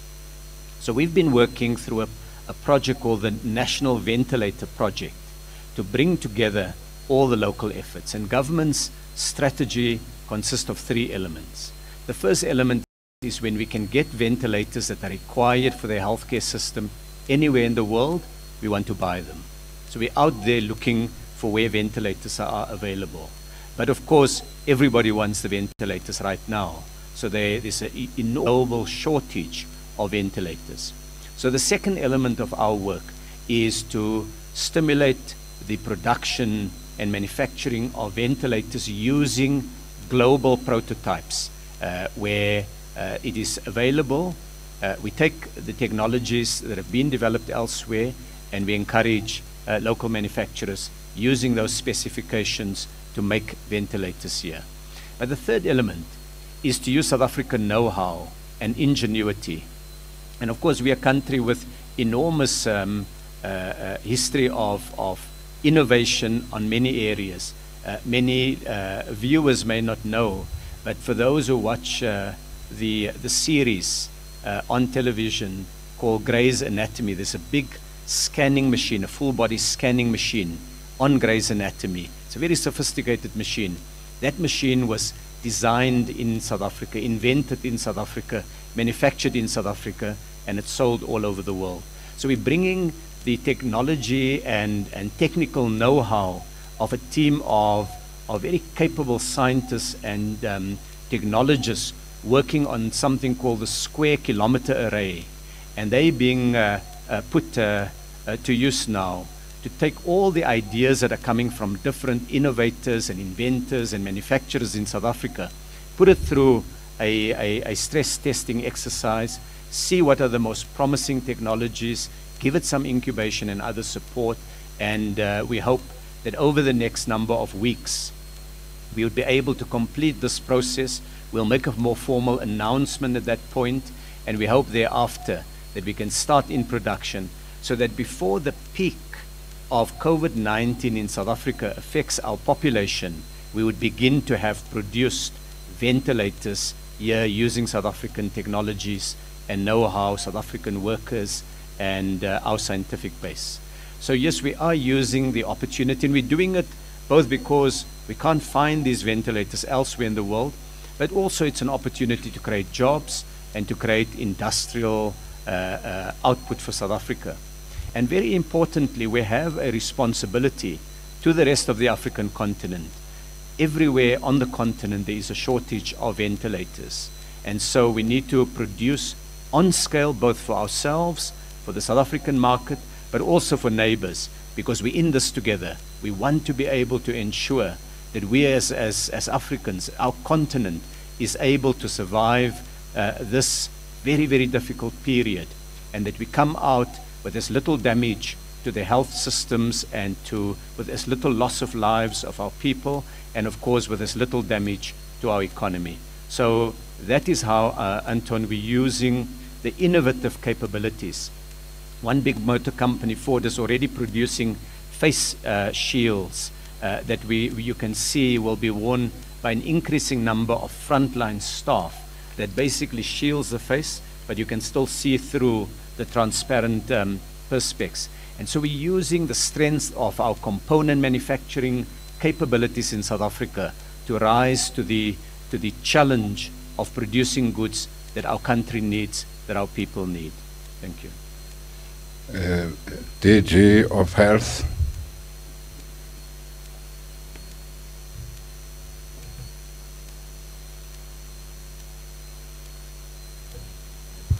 Uh, good afternoon, honorable ministers and uh, uh, fellow South Africans. Um, yes, on the two questions, the first relating to the. Uh, um,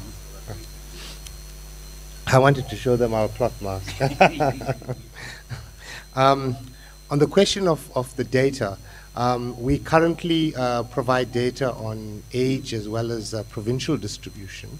There has been no specific trend relating to ethnicity, so we've not published ethnicity data. Uh, suffice to say that uh, currently the trends suggest that about 3% of people that are tested are positive, and that's been about the trend that we've seen since the time of the first case, um, which is uh, way lower than what the global experience has been, which has been much higher, around 10%. Uh, relating to the serious infections, globally about 15, uh, sorry, about 5% of people actually uh, have serious infection, meaning that they need to be ICU and high care. In South Africa, this number seems to be much lower currently, uh, below 3% uh, in most cases. Um, and we're uh, anticipating that we would keep, be able to keep it at this level, but we are aware that uh, globally this number is much higher, around 5 to 6% of people actually go into ICU and require ventilation. And our plans are largely linked to those numbers. Thank you.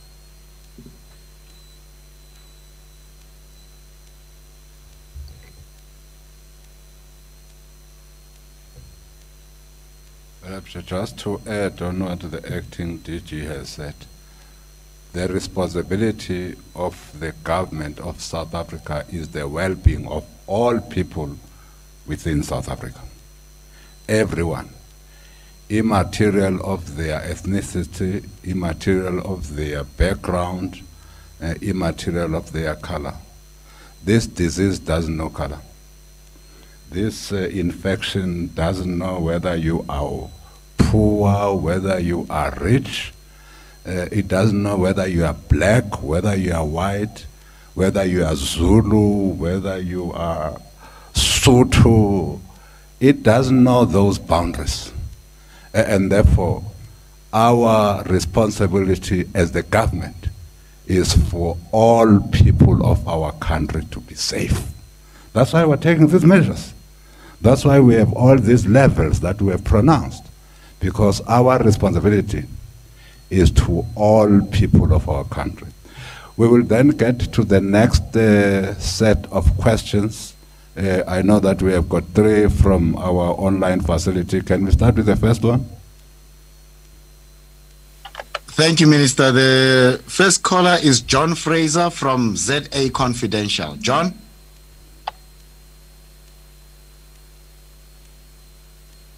John, you are allowed. Hi. Yeah, I'm John Fraser from ZA Confidential. A couple of questions for Minister Patel, please. Um, first of all, what's happening with the export of non-essential goods? Can these travel freely to the ports and airports? And how are they being policed? And secondly, a question on wine. What's the latest on being able to transport wine for export? And what's the latest on retail, please? Well, well, I, I, hope Mr. Patel would like to answer that question, but I would have said to him he will answer it when he comes in his capacity as the Minister of uh, Trade and Industry next week, Tuesday. Next week, Tuesday, we'll have a sectoral approach where we will deal with all questions related to matters of the economy, etc., etc., and in inclusive of the measures that the president has put in place.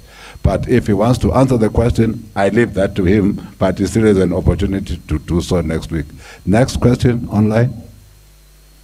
Uh, the next question is from Max uh, from Pondo News. Max?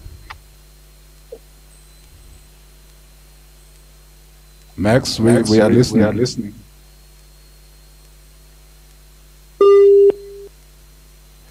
Well, well we, we, we are not hearing anything there. I know that there is a third caller. Can we get Can to we the get- third caller? Okay. Can we get to our WhatsApp friends? Thank you, Minister. Um, Hajra, But, but can we hear you properly? I'll try my rally voice. Yes, that's, that's much better. Okay, thank you. Um, Hajra from Power FM is asking, is there a threshold or indicator of what will be assessed, on what will be assessed for us to move between levels, or will this be done on a weekly, monthly, weekly or on a monthly basis, for an example? The next question is from uh, Vickers from Netwerk 24. Will certain parts of the country remain under level 5? If so, which parts of the country? The next question is from Nathan from Ground Up. Um, is there a reason for continuing to allow lotto tickets to be considered an essential good and therefore sold at stores during this during the lockdown? Um, Zwandile Mbeje from the SABC is asking what happens to people who are outside of the province whose company is now opening and um, when they because whose country whose company is opening and they went to a different province during the lockdown or before the lockdown.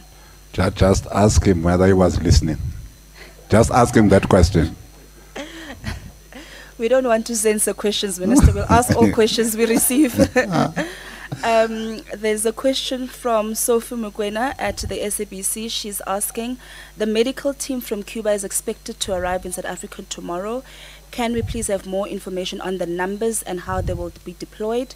And then there's a question regarding the um, sale of cigarettes.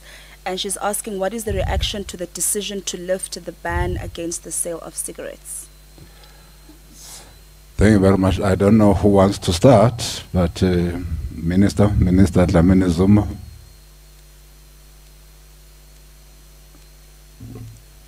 Uh, Thank you very much. Uh, On the first question, moving between levels, as, as we said, it will depend on whether the spread, on the, on the numbers in terms of the spread of the disease, and also on the proportion of people tested and those who test positive. It will also depend on the state of readiness or the capacity of the health system to cope with many uh, infections. Uh, it will also depend on how we do on this level.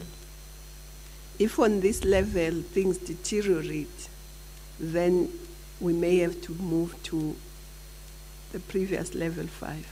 But if on this level things improve, then it means again the same system will be used to open up more companies, open the economy a bit more.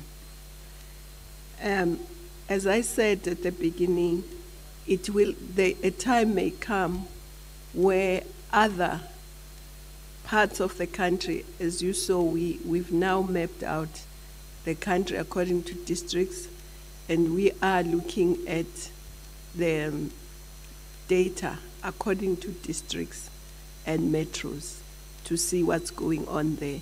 So there may come a time where there would be differentiated levels. Others may be higher, others lower, depending on what's going on there.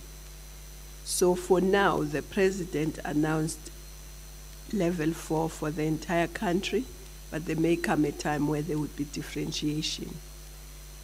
Um, And we, we, we do look, we will be looking at the data on a weekly basis. But if there are no dramatic changes on the data on a weekly basis, then we can't change from one level to the other. But over time, if we see that the trends are moving towards us moving to a lower level, then we'll move to a lower level. If the trends show that there is trouble, then we'll move to a higher level. I can't tell at the moment that we would be moving after so, so long. It will depend on the data itself.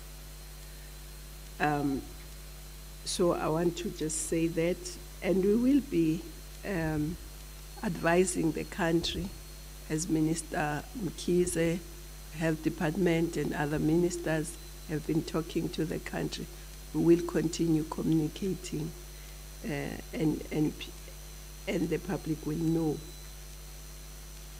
whether we are doing well, whether we're stable at level four, or whether we're going up, or whether we're going down. And that's, that, in fact, that takes care of the two questions. Two questions, yeah. Uh, Lotto is not an essential good, but didn't even know it was being sold, to be honest. But uh, maybe minister will know what the answer is. Are you able to answer Lotto? And let me just finish. Okay, okay. Um, people who go, who went outside before the lockdown, we know that the, the national roads were very busy in that 72 hours that the president gave us. And people wanted to be locked down in various provinces. There will be an opportunity for them if their workplaces are opening. So they will be given permission by their employers if their workplace is opening and they need to come back. So they will be able to come back to the various other provinces. But what will not be allowed is for them to commute on weekends, go home, come back, go home, come back. They'll come back once and they'll stay where they've come back to work until further notice. And that will be very strict, let me say, because if we allow that, I said at the beginning that the major economic hubs are also the major uh, epicenters for the disease. And therefore, and they are the biggest number of population is in those centers. Now, if we allow them to come back and then to go in and out, there will be a big danger of them taking the disease to the areas that have got lower numbers and then increasing the numbers there. So they must know that they will come back to where they work, but they will not be able to go to the other provinces on weekends. Um, I think when the, unless the, the DG of Health wants to answer it now, otherwise when the Cubans come, the announcement will be made tomorrow of where they are going and how many they are and all that. Um, I think I've tried to accept the load. Uh, Minister Patel.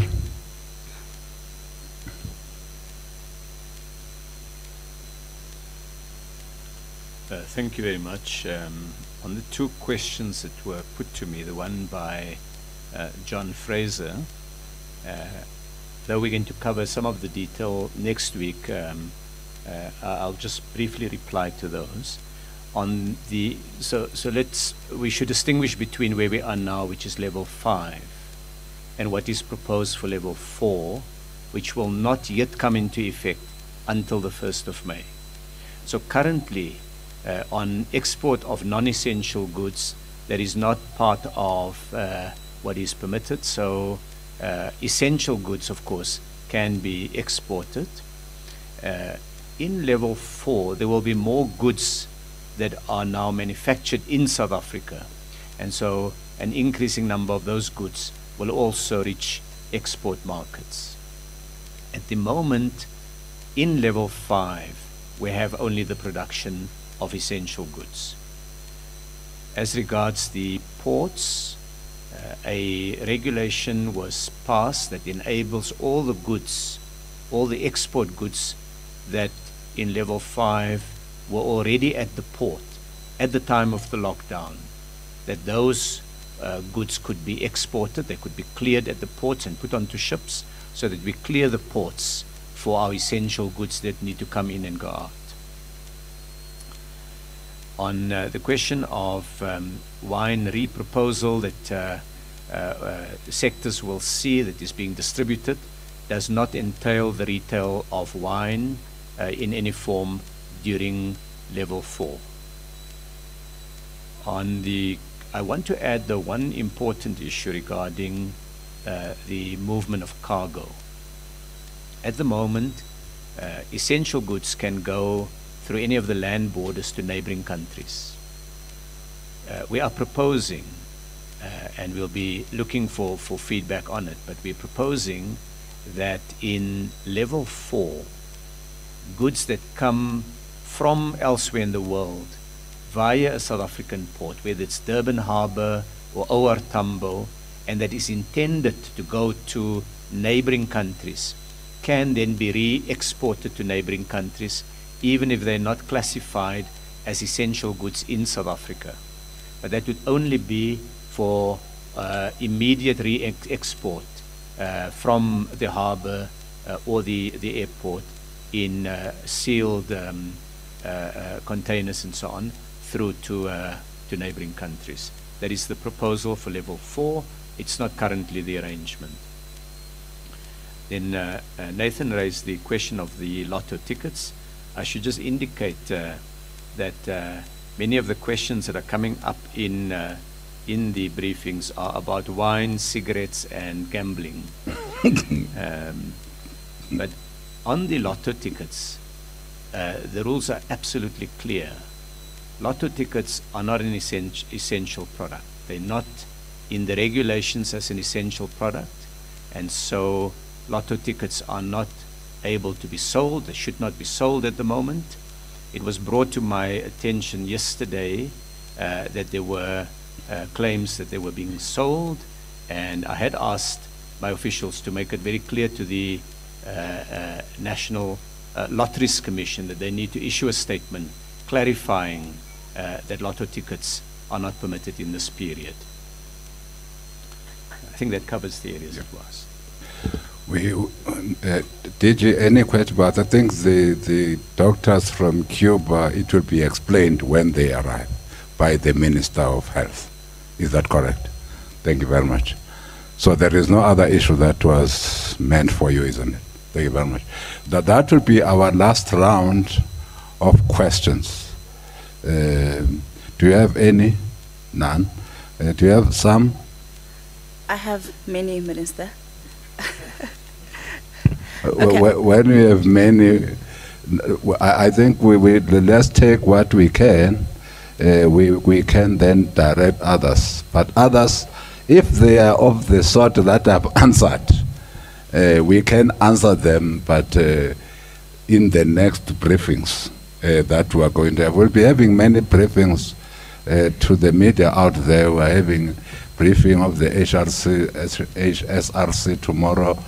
Monday, we're having a briefing of the education sector. Tuesday, we're having a briefing of the social and economic sector.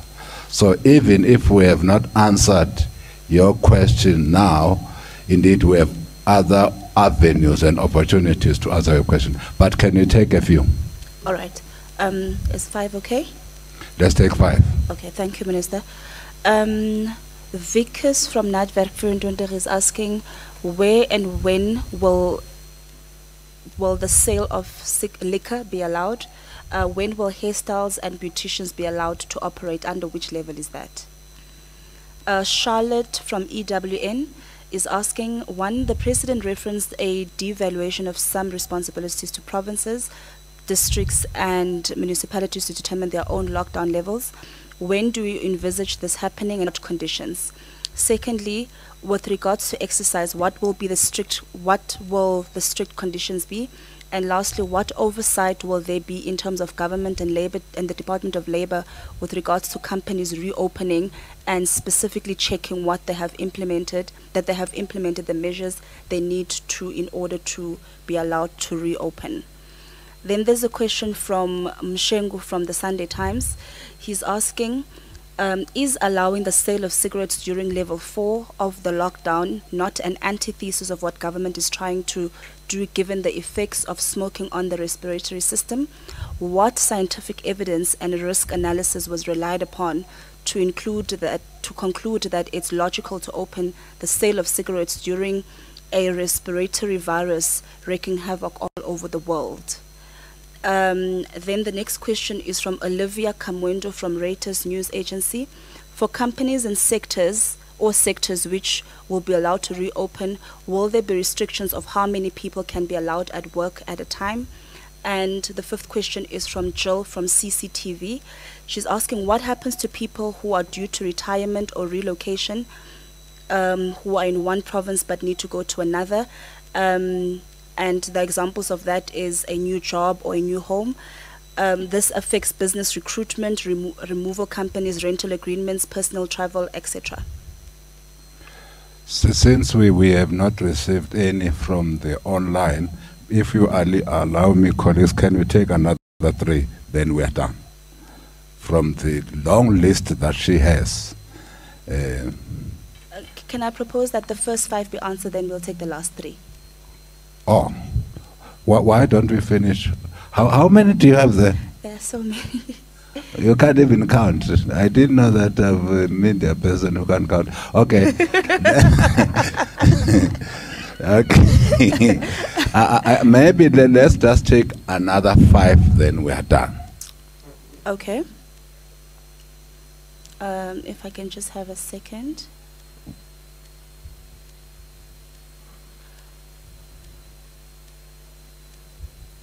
Mm, okay, there's a question from Heidi Giokos from ENCA, and she's asking um, what happens, and this is with regards to traveling in between provinces. What happens if a person who needs to travel doesn't have a license or needs to be dropped off? Um, can they be dropped off to go back to work as of to, as of today, as they're expected to return to work on Monday? Um, then there's a question from Marianne. Um, I think that this was answered. Is asking will the reg- when will the regulations will when will the regulations be available, and uh, when will the ministers be issuing directives um, as per all the announcements that have been made? Can I continue? Yep. Okay. Is it- le- le- let's take five. That will be the last five. Because it will be ten when we add the other five. Okay. Those of us who did simple mathematics or arithmetic. Okay. Anton um, from Pretoria FM is asking online shopping and e commerce encourages social distancing. When will you open up the e commerce industry? Do you believe there's a risk of spreading the virus through delivery of packages? Um, Sihle Lambo from IOL is asking clarity, is a clarity seeking question. In terms of the sale of cigarettes, is it a universal lifting of the ban on all lockdown levels? Um, That, that's the last one. was that the last one? And the- the one that you are coming to. Okay. Um, Charlotte Kilbane from EWN is asking, please would you put numbers or matrix to high and moderate with regards to how the levels are determined, e.g. at an average daily increase of 30% in cases, would we, we, we would consider it moderate or high? So basically she's asking at what level of the daily increases of infections would determine the, the movement of, of the levels. Thank you, Minister. Okay. That, that, that, that, that will be the last lot that, that we are taking. Uh, we will still have other opportunities where we will speak to colleagues, but the questions that are remaining there, as we always do, we will direct them to the relevant uh, authorities and relevant ministers so that they are answered. You have said that there are many. It means that you can count them. So we will send the many questions uh, to the relevant ministers. Colleagues, uh, Minister. Uh, thank you very much. Uh, I think on the issue of liquor, liquor will not be allowed on level four as far as level four is concerned. Um, considerations will be done as we move down the levels, but for now, it's not allowed. Um, at, at the moment, there is a national state of disaster. And the president has announced level four nationally. But I did say there will come a time when there may be differentiations of uh, levels in different districts. But for now, the level of disaster, the, the, the state of disaster is national. So the law does not, for now, allow that every district can now decide uh, I'm doing this in the district because the state of disaster is the national state of disaster.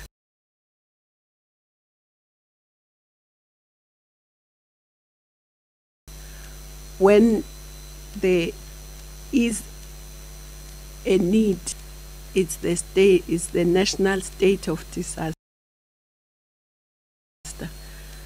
But let me hasten to say there are regular discussions between the provinces and the national through what is called the Presidential Coordinating Committee, the PCC.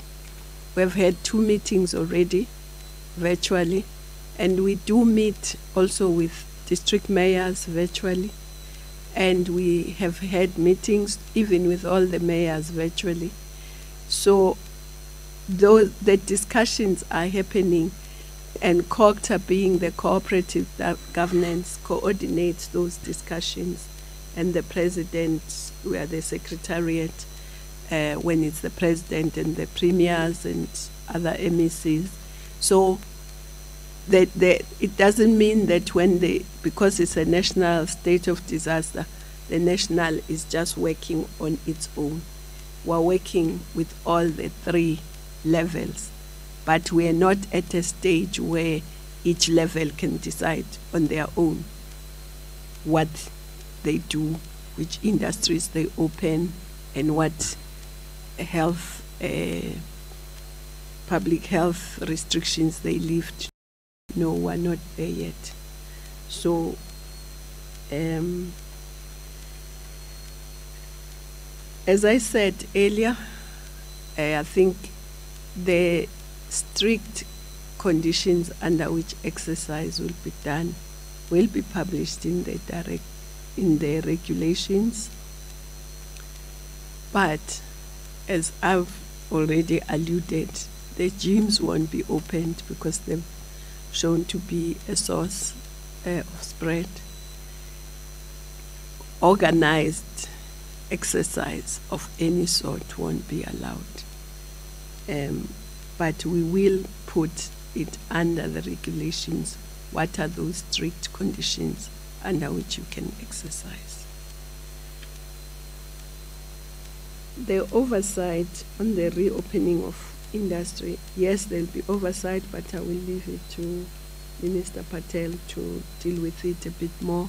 But we are already working, Minister of Health, Minister of Labor, obviously, but also sectors, Minister of uh, Minerals and Energy in the mines and different sectors uh, that are opening. There, there will be uh, obviously strict oversight, but the unions also will be a part of the discussions and they will also um, uh, be part of that oversight, but Minister Patel will, will deal with that. The cigarette issue I did say that we are listening. Yes, the president announced the issue of cigarettes. We are hearing you, your arguments, and we will take it back um, and see what happens after those discussions. While listening, government, uh, we have listened to, to you, and I think the other people who wanted smoking also have been speaking, but we are hearing. We'll take the matter back, and I, I will discuss it and see what comes out of it. But it's interesting that uh, indeed uh, quite a lot of questions have come up around the cigarette issue. Um, understandably so. Uh, then the movement of people. If you are taking up a new job, or if you are coming to your old job, it's the same. You will be given permission to move, to come to your new job, or to come to your old job. But what will not be allowed, whether you are taking up a new job eh, or an old job, is when you have moved to an area of high infection, is to move up and down. That will not be allowed. If you have finished your job, you are retiring, and you have to move to another province, uh, the, the, your company will, will, will, say so that you need to move in a, as much as it will save the, if you are taking up a new job or coming to your old job, they will say that you are moving.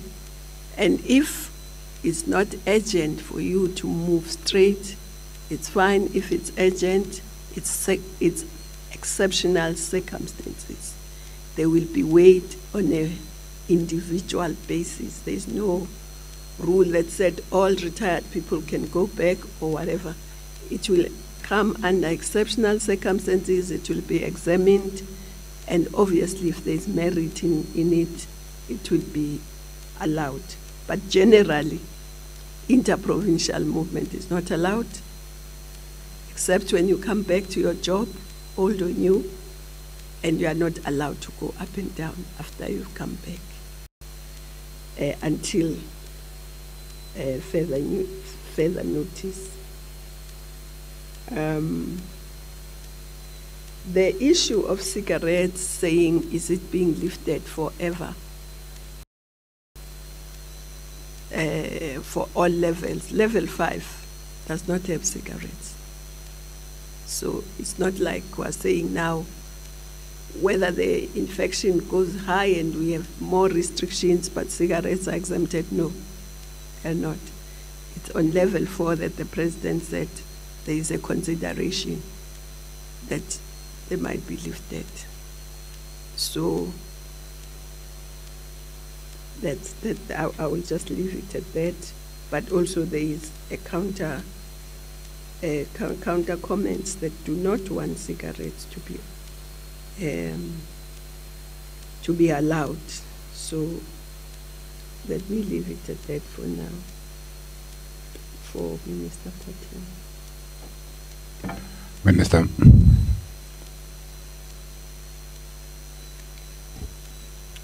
Uh, thank you very much. Two specific questions that uh, I'd like to comment on. The first is uh, the one by Olivia from Reuters uh, on the restriction on the number of workers at workplaces.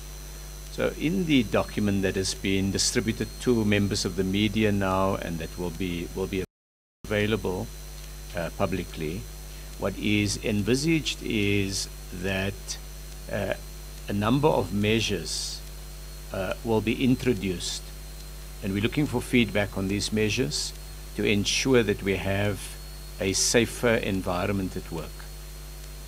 The first of these measures is social distance in the workplace itself, where uh, the general standard of one and a half meters between workers with as few contact points and uh, measures to avoid shared areas, shared surfaces, shared machines, and so on.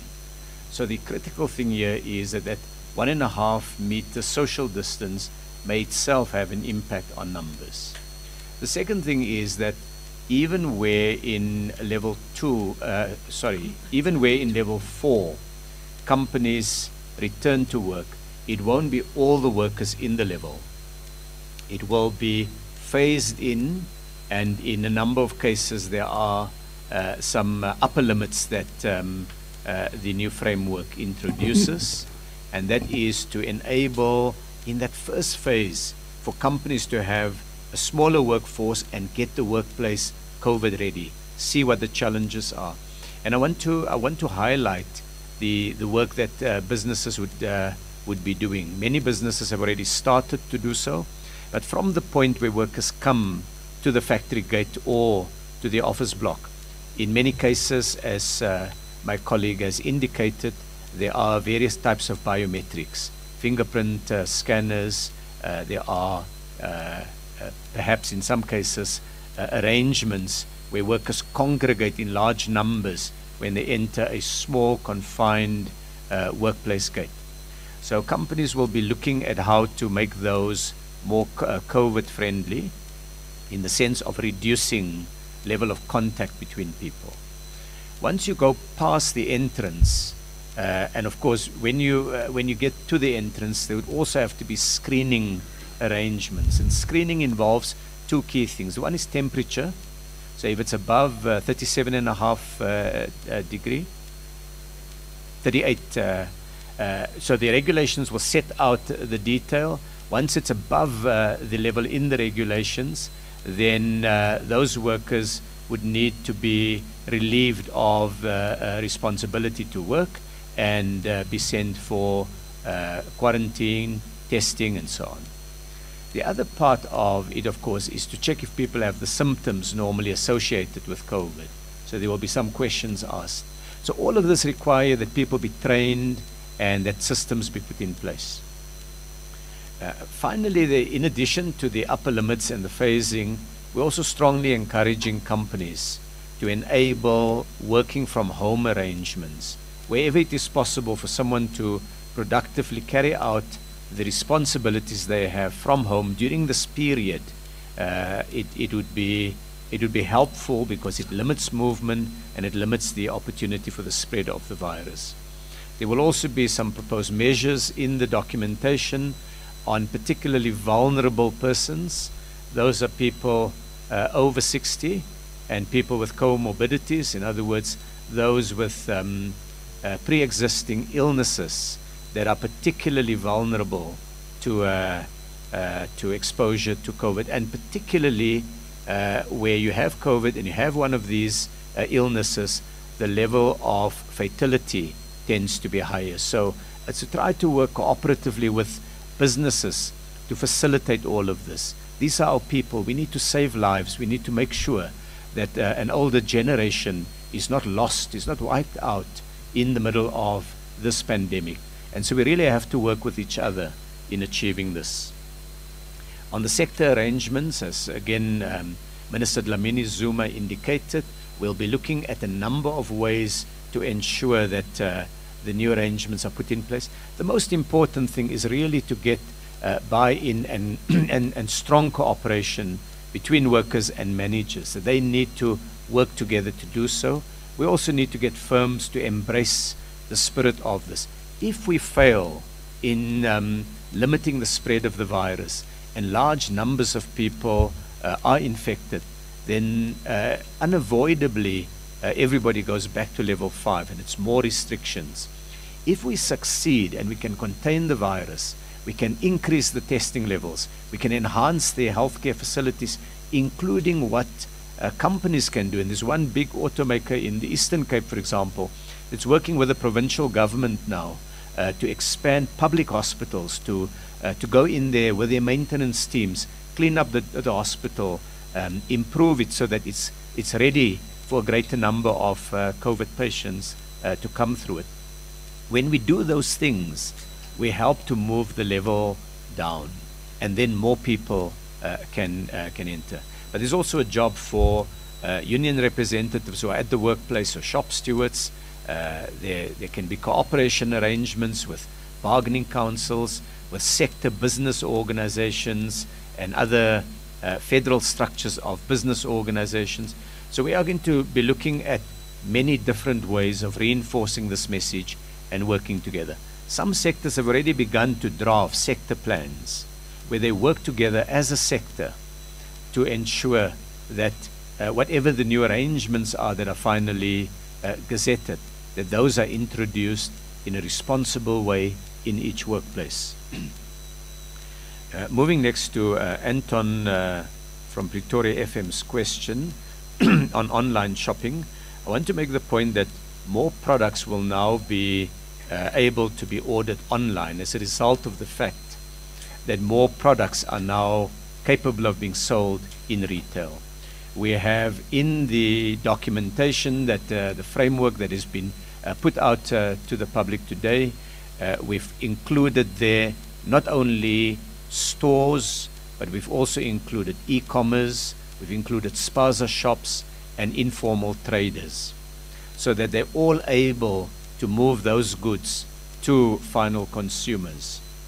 Of course, uh, uh, as we uh, in in the regulations that will be published next week, more details will be put in there.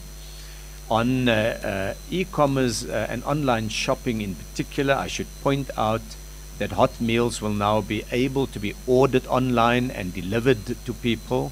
Uh, so uh, those of us who have been um, missing our favorite hot meals would be able to obtain it in those in those ways because we, we're trying to get people to stay at home, those who don't need to go to work as part of this arrangement to stay at home because it's about saving lives.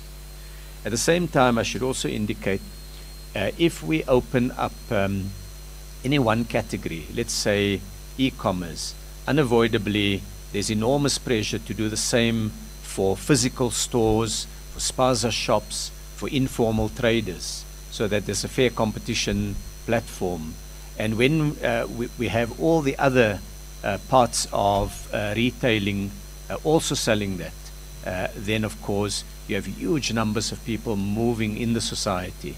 So we need to make sure that we, we have a system in place that has wide society support, uh, that ensures we don't now multiply and increase dramatically the number of places that sell things to the point where effectively the virus spreads. We have large numbers of people dying. We have coffins all over uh, the show. Um, there were graphic pictures in Italy of um, army trucks being used to move coffins around because all the normal services were overwhelmed and huge numbers of people had died. More than 50,000 Americans uh, have died in um, uh, to date uh, in uh, this pandemic. So it's real. And the fact that we've not had huge numbers of deaths in South Africa uh, is something that should not make us complacent. It's really important that we, we keep uh, the systems and the arrangements in place and that we do everything possible, humanly possible, to save lives. At the same time, we've recognized the importance of um, uh, opening of the economy. So we're trying to uh, link these two uh, to ensure that we go for the greatest level of opening within a framework that is set by, by health considerations. As we get better information, more information, higher levels of testing, we're able to refine the system in the manner that had been um, uh, uh, indicated. And so uh, this is an important moment when we are looking for comments uh, and we are going to be uh, able to, to take into account those comments before the regulations are issued and before the final framework uh, is gazetted. So part of it is, is also today here, and as my colleague uh, has said, uh, even some of the questions the media has asked, uh, for example, in cigarettes and so on, are quite useful and a helpful feedback to us about the kind of issues we must take into account in the final list that will be uh, that will be gazetted. My colleague may also want to uh, to add on that. Thank you. yes, ma'am. Uh, thank you. I think your feedback is very important. Um, but I just also want to comment on the question of e-commerce. I think my colleague has uh, commented on it, but just on the issue whether there isn't a danger of spreading it through the packages. I think yes, there is a real danger. So it means that when you receive a package, you have to take the necessary precautions. Sanitize, clean the package before you even open it. But when you have opened it, also sanitize what's inside because you don't know who was touching it and what are the dangers. But then sanitize your hands as well uh, after all that. So it means if we if we getting more things delivered, then we have to take extra precautions because I may leave a package in front of your door and I may have the virus. And so we need to just make sure that we do take those precautions, um, which, we, which you must take even when you do shopping, actually. Uh, when you come back with shopping, uh, you must take precautions. Uh, so um, I just wanted uh, to, to add that to, to the answer that my colleague has given. But lastly, to just stress again that this is in our hands, all of us, collectively and individually. It is in our hands. If we want to go to level three and down to the lower levels until we get back to normal, we must all take our responsibility, individually and severally, as citizens, as governments and all institutions, business, companies, informal traders, all of us in this country have a collective challenge. And we have to make the relevant sacrifices so that we can move quickly to normal life, back to normal life. But if we don't, if we think, well, it won't affect me, it will affect somebody else, making a big mistake. And even if you think, oh, I can protect myself, but I don't care about the next person, making a big mistake. This is one time where our life is so interlinked, where our lives, our well being is, we are united in looking after our well being as a country and as the world.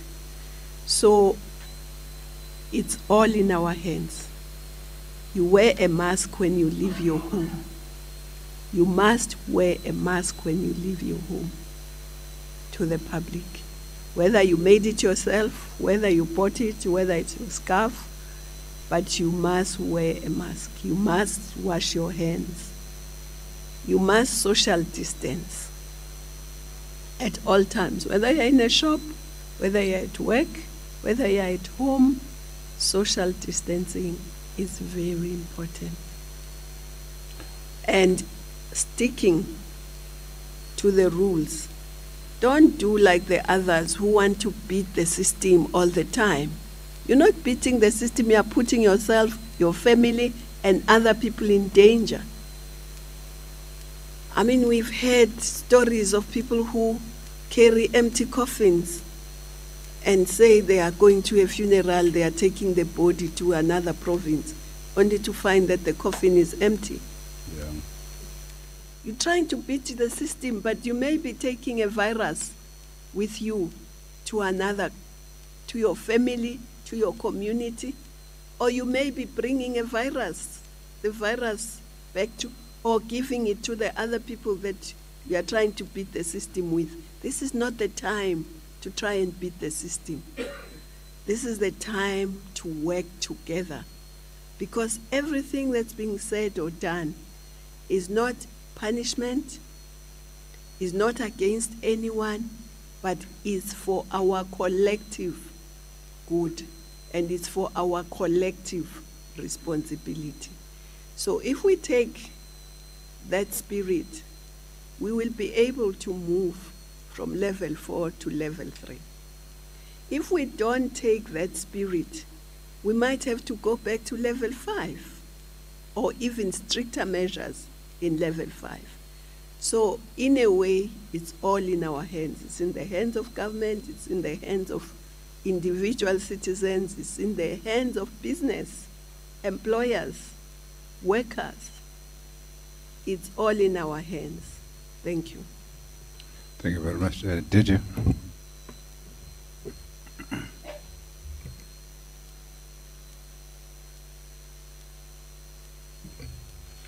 Thank you, Minister. Uh, just a couple of the questions. Uh, the first one around uh, hairstyles, uh, hairstylists. Uh, to say all those services where there is direct contact, there's obviously a serious risk of transmission. So, hairstylists, massagers, uh, hair, nails, as well as those that are beauticians, etc. It's very close contact and personal contact with each other, and so the risk of transmission is much higher. So clearly, those services are prohibited for that reason. And I think for the for the benefit of both those that are, uh, are benefiting from the service and those delivering it as well.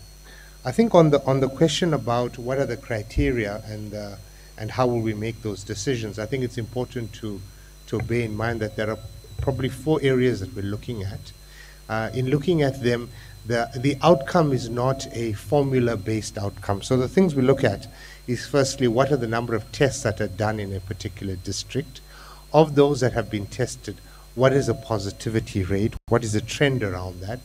What is the health capacity in terms of the number of beds that are available, both the general and ICU beds?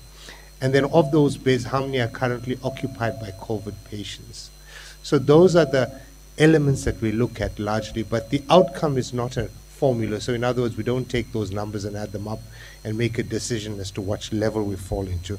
There are a number of other factors that need to be taken into account before we make that decision. I think the Minister of Health, then taking the advice of the Ministerial Advisory Committee, will then advise us to what level he thinks we should be at. On the workplace, I just want to emphasize the points that Minister Patel has made. We will be publishing a guideline on uh, how the workplace needs to be managed in terms of COVID prevention just to emphasize the point that masks need to be used in the work workplace. There needs to be sanitizers or at least running water together with soap so that uh, the, the, the, employees can, can, uh, can wash their hands regularly. It's also important that there is random regular testing. There, there is a significant proportion of employees who may be asymptomatic, and so randomly testing them is important. Also, those employees, as Minister Patel mentioned, that have comorbidity. So if you have a cardiovascular disease, it's important that you, you, you reconsider whether you want to go into work or, or negotiate with the employer. Similarly, with respiratory diseases such as asthma, COPD, chronic bronchitis, etc., or even some of the immune suppressive conditions such as HIV, TB, diabetes, or if you're on chemotherapy, these obviously pose a significant risk, and our experience from the other countries suggests that the mortality in this group is very high. So we'd really encourage you to, to rather remain at home rather than going and putting yourself at risk. Um, those were the, the key questions, Minister. The, the last point I wanted to just mention was I think it's important for us to, to, to take lessons from other countries that have dealt with this outbreak. And I was listening to one of the South Africans who were in Wuhan, and she was asked the question, what, what advice can you give South Africa? And her, her point was very important. She said, one of the differences between uh, China and South Africa is that in China, when, when somebody breaks the rules, your neighbor will tell you, these are the rules, please don't break them because it affects not only you, it affects all of us. And I think as a society in South Africa, when we see somebody breaking the rules, let's encourage them to comply so that all of us as a society can make sure that we move along to level three and level two rather than having to move up to level five. Thank you.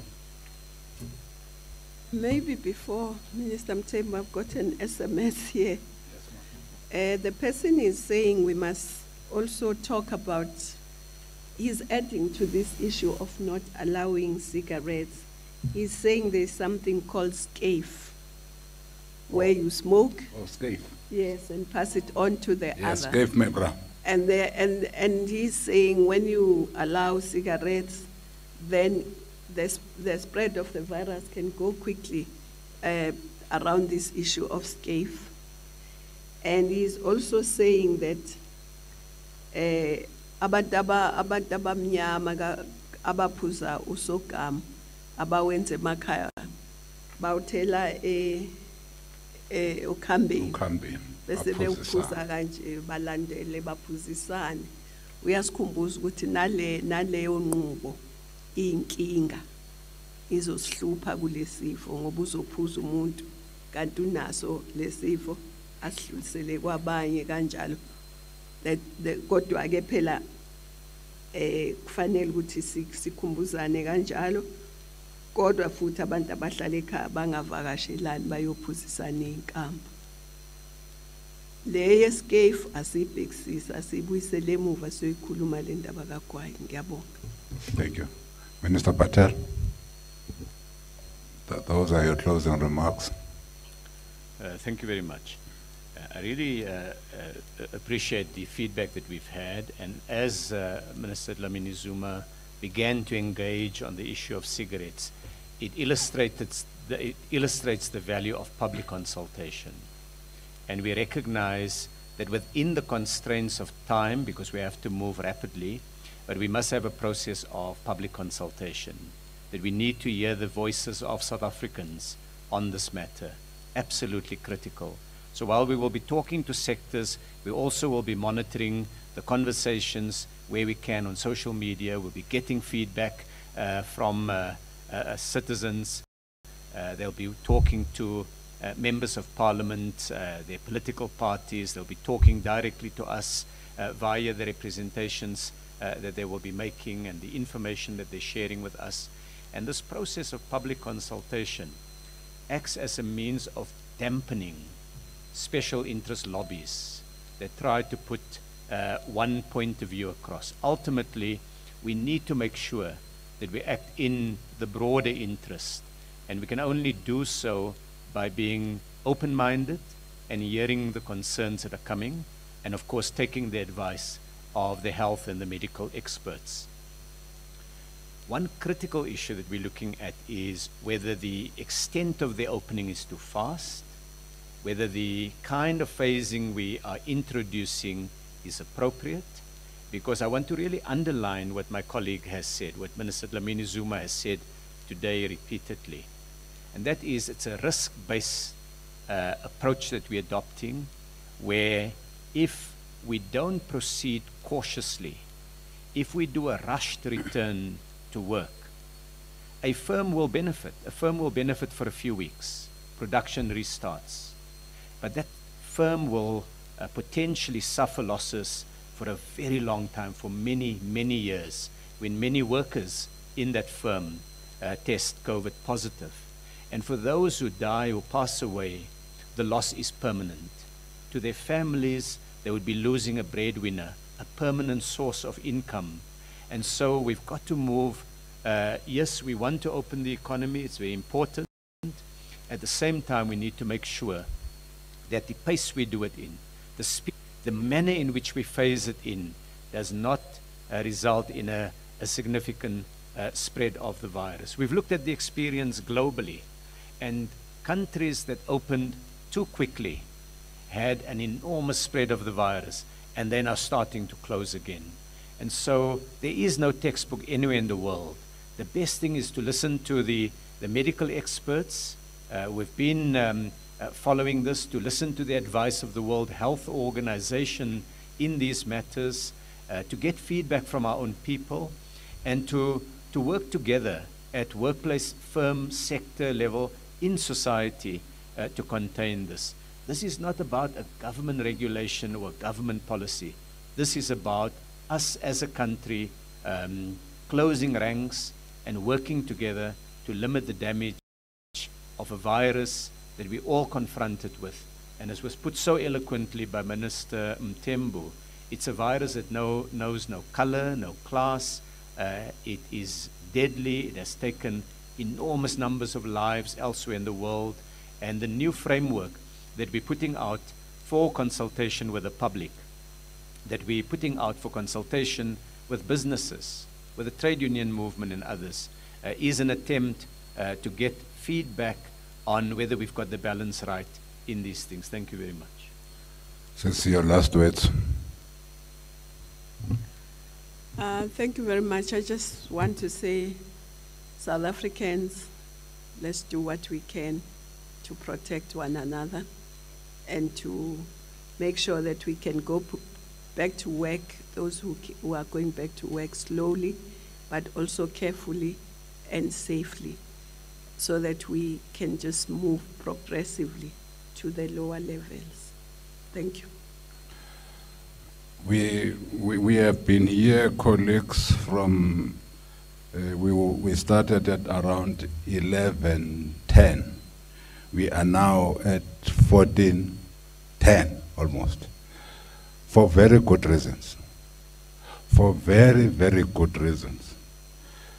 Those who have access to the coronavirus worldometer will know that we are all in the entire world, we are almost now at 3 million people who are infected. But people who have died are almost 200,000. Just people who have died. One country that we will not mention has over 52,000 people who have died. One country. There is another one that has over 25,000 people who have died. South Africans, we have 79 of our own who have lost their lives. As we ease the levels of the lockdown, going to level four, what my colleagues have said is what matters the most.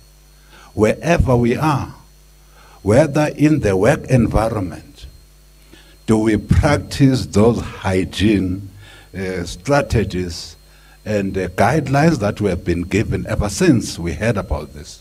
Social distancing. It's now called physical distancing. One and a half meter to two meters, even at the workplace. That's what we're saying. Even at the workplace, we must screen those that will be opening their firms if we all agree, ultimately, because this is a consultative process. Uh, we are consulting with the public. This is the view of government that we must come to a level four, but have some measure of economic activity being streamed in. But even those that we are streaming in must screen their people. Those that, have a bigger number of employees must even test their people. Uh, uh, sectors like your mining sectors, etc., etc. So we, we, we, we must live with this even in the workplace. We, we must still ensure that we don't touch one another. Uh, we don't kiss one another. Because as we all know, this disease and this infection only gets to another person through another person. Therefore, if people are not mixing, you know, we read something yesterday on Daily Dispatch uh, of Eastern Cape that said in one village, there's now 40 people who were infected because they attended a funeral. This is real. So, what we are talking about here is real. As a country, as we speak now, we are standing at people who have been infected who are standing at 4,220 as of yesterday. Indeed, the figure might be higher today. But like my colleague said, South Africans, and Mama, it is up to us. Bosisi nabo bhuti. Uma nje silandela lezi nqubo uhulumeni ayibekile sibambisana ngazo ukuthi singabi ndawonye sibe baningi ukuthi singenze amapati ukuthi singaye emajimini singawavuni la amajima sikawavulanga nokuthi futhi singayi emashebheni eh singayi ukuyophuza even sibambisane ngezikali ukuphuza izikali sinikezana ngembamba o noma ngomuphi utshwala basemakhaya uma senza konke lokho singakwenzi konke lokho okwenza ukuthi na sihlangane nalegciwane impela sizosinqo sizolinqoba lesi sifo eh sizolinqoba legciwane uma olesibambisene. And uh, again we end ngamagama ashuma mnkosazana kuthi noma ikuphi okwenzayo uyobe ungakwenzeli wena. You'll be doing it for all of us. But if you also mess up you are messing up for all of us unfortunately. Uh, you might be then be responsible through your actions for whatever that will happen to another South African. Sinkosazana. sorry sengigcina nje sorry No- ukucela no problem. ukuthi ngithole enye SMS ebuye eswazini Oh, Swati. Swatini uthi in Swaziland when the kombi users were forced to wear masks they borrowed each other their masks the conductors asked them as they were alighting to leave the mask behind for the next group of people. Hallelujah. so kufuneka sizibheke zonke lezi zinto. I think into ebalekile le ukuthi kungashi ukuthi hayi mase wehla shi imask yakho soyinika omunye. Imask yakho eyakho ebusuku uyayiwasha. Awuyiniki omunye umuntu. Ama mask awabolekanisi.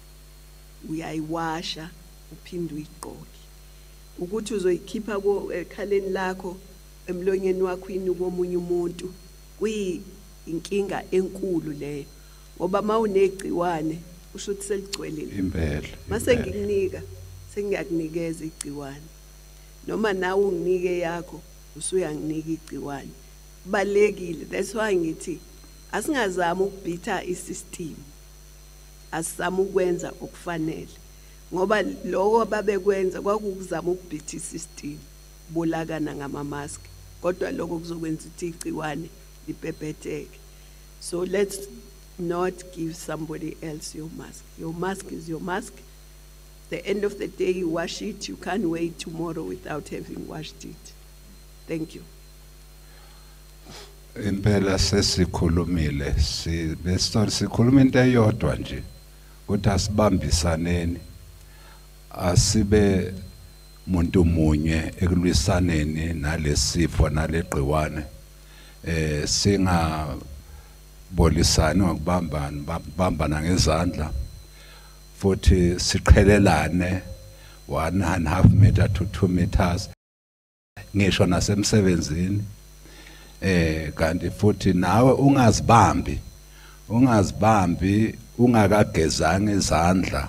Uzibambe kufanele ugeze njalo izandla noma usanitize ngoba uma uzibamba ungakagezanga izandla kanti ubukuyobamba izinto ezithize ngoba le gciwane liyakwazi ukuhlala ngisho nasestofini liyakwazi ukuhlala ngisho eh naku desk yakho.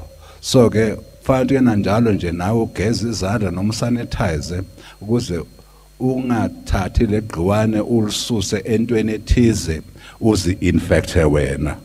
So sibonga kakhulu ke kubantu baseningizimu Afrika ukuthi la nisilalele namuhla. Kunale document eh lo mqulu esewukhiphayo ke namuhla uya kuwo wonke umuntu sewukhona osesewufakile lo mqulu eh abadinga ukuthola uyatholakala eh ku website eh ye coronavirus www.coronavirus website. Kanti futhi ukhona futhi naku website ye GCIS eh ungangena namanje uthole lo mqulu. Eh sizafana kuwo wonke futhi amanye ama website akhona kuhulumeni. Eh so that kungabi nomuntu ozoba nengxaki ukuthola lo mqulu kahulumeni okukhuluma ukuthi na uma sikhuluma nge-level 4 lockdown sikhuluma ngani? Eh siya consulta ke kanjalo Eh, sibonga kakhulu ke eh, kuba bonke abaye bashaya ingcingo ukuthi na bezwe babeke imibuzo yabo Eh, thank you very much to the journalists that we are working with uh, and everybody else, particularly to the people at home. Let's continue saving lives. let's continue staying at home because that's the only way of this, this virus can only move if we move. The only people after all of us are agreed on level four that will be able to move are those whose various sectors and workplaces would have opened. And they will only have a responsibility to only go to work and come back and go nowhere else. Uh, because umama ukhulumela also on a curfew, uh, curfew, where after coming from work you are expected to stay at home. So that message of staying at home will still continue because it's only through staying at home that we save lives. And as we see what's happening throughout the world, it's quite clear that we have done our best as a nation. We have done our best as a nation. Let's not lower our guards now. Let's not lower our guards now. Thank you, South Africa. Sibonge Wabasekhaya, and thank you very much for all those at home who have been listening to this broadcast. Thank you very much. Go to our website, familiarize yourself with the document that we have just put to the public now. Thank you, and thank you very much, Seblen. My colleagues, thank you very much.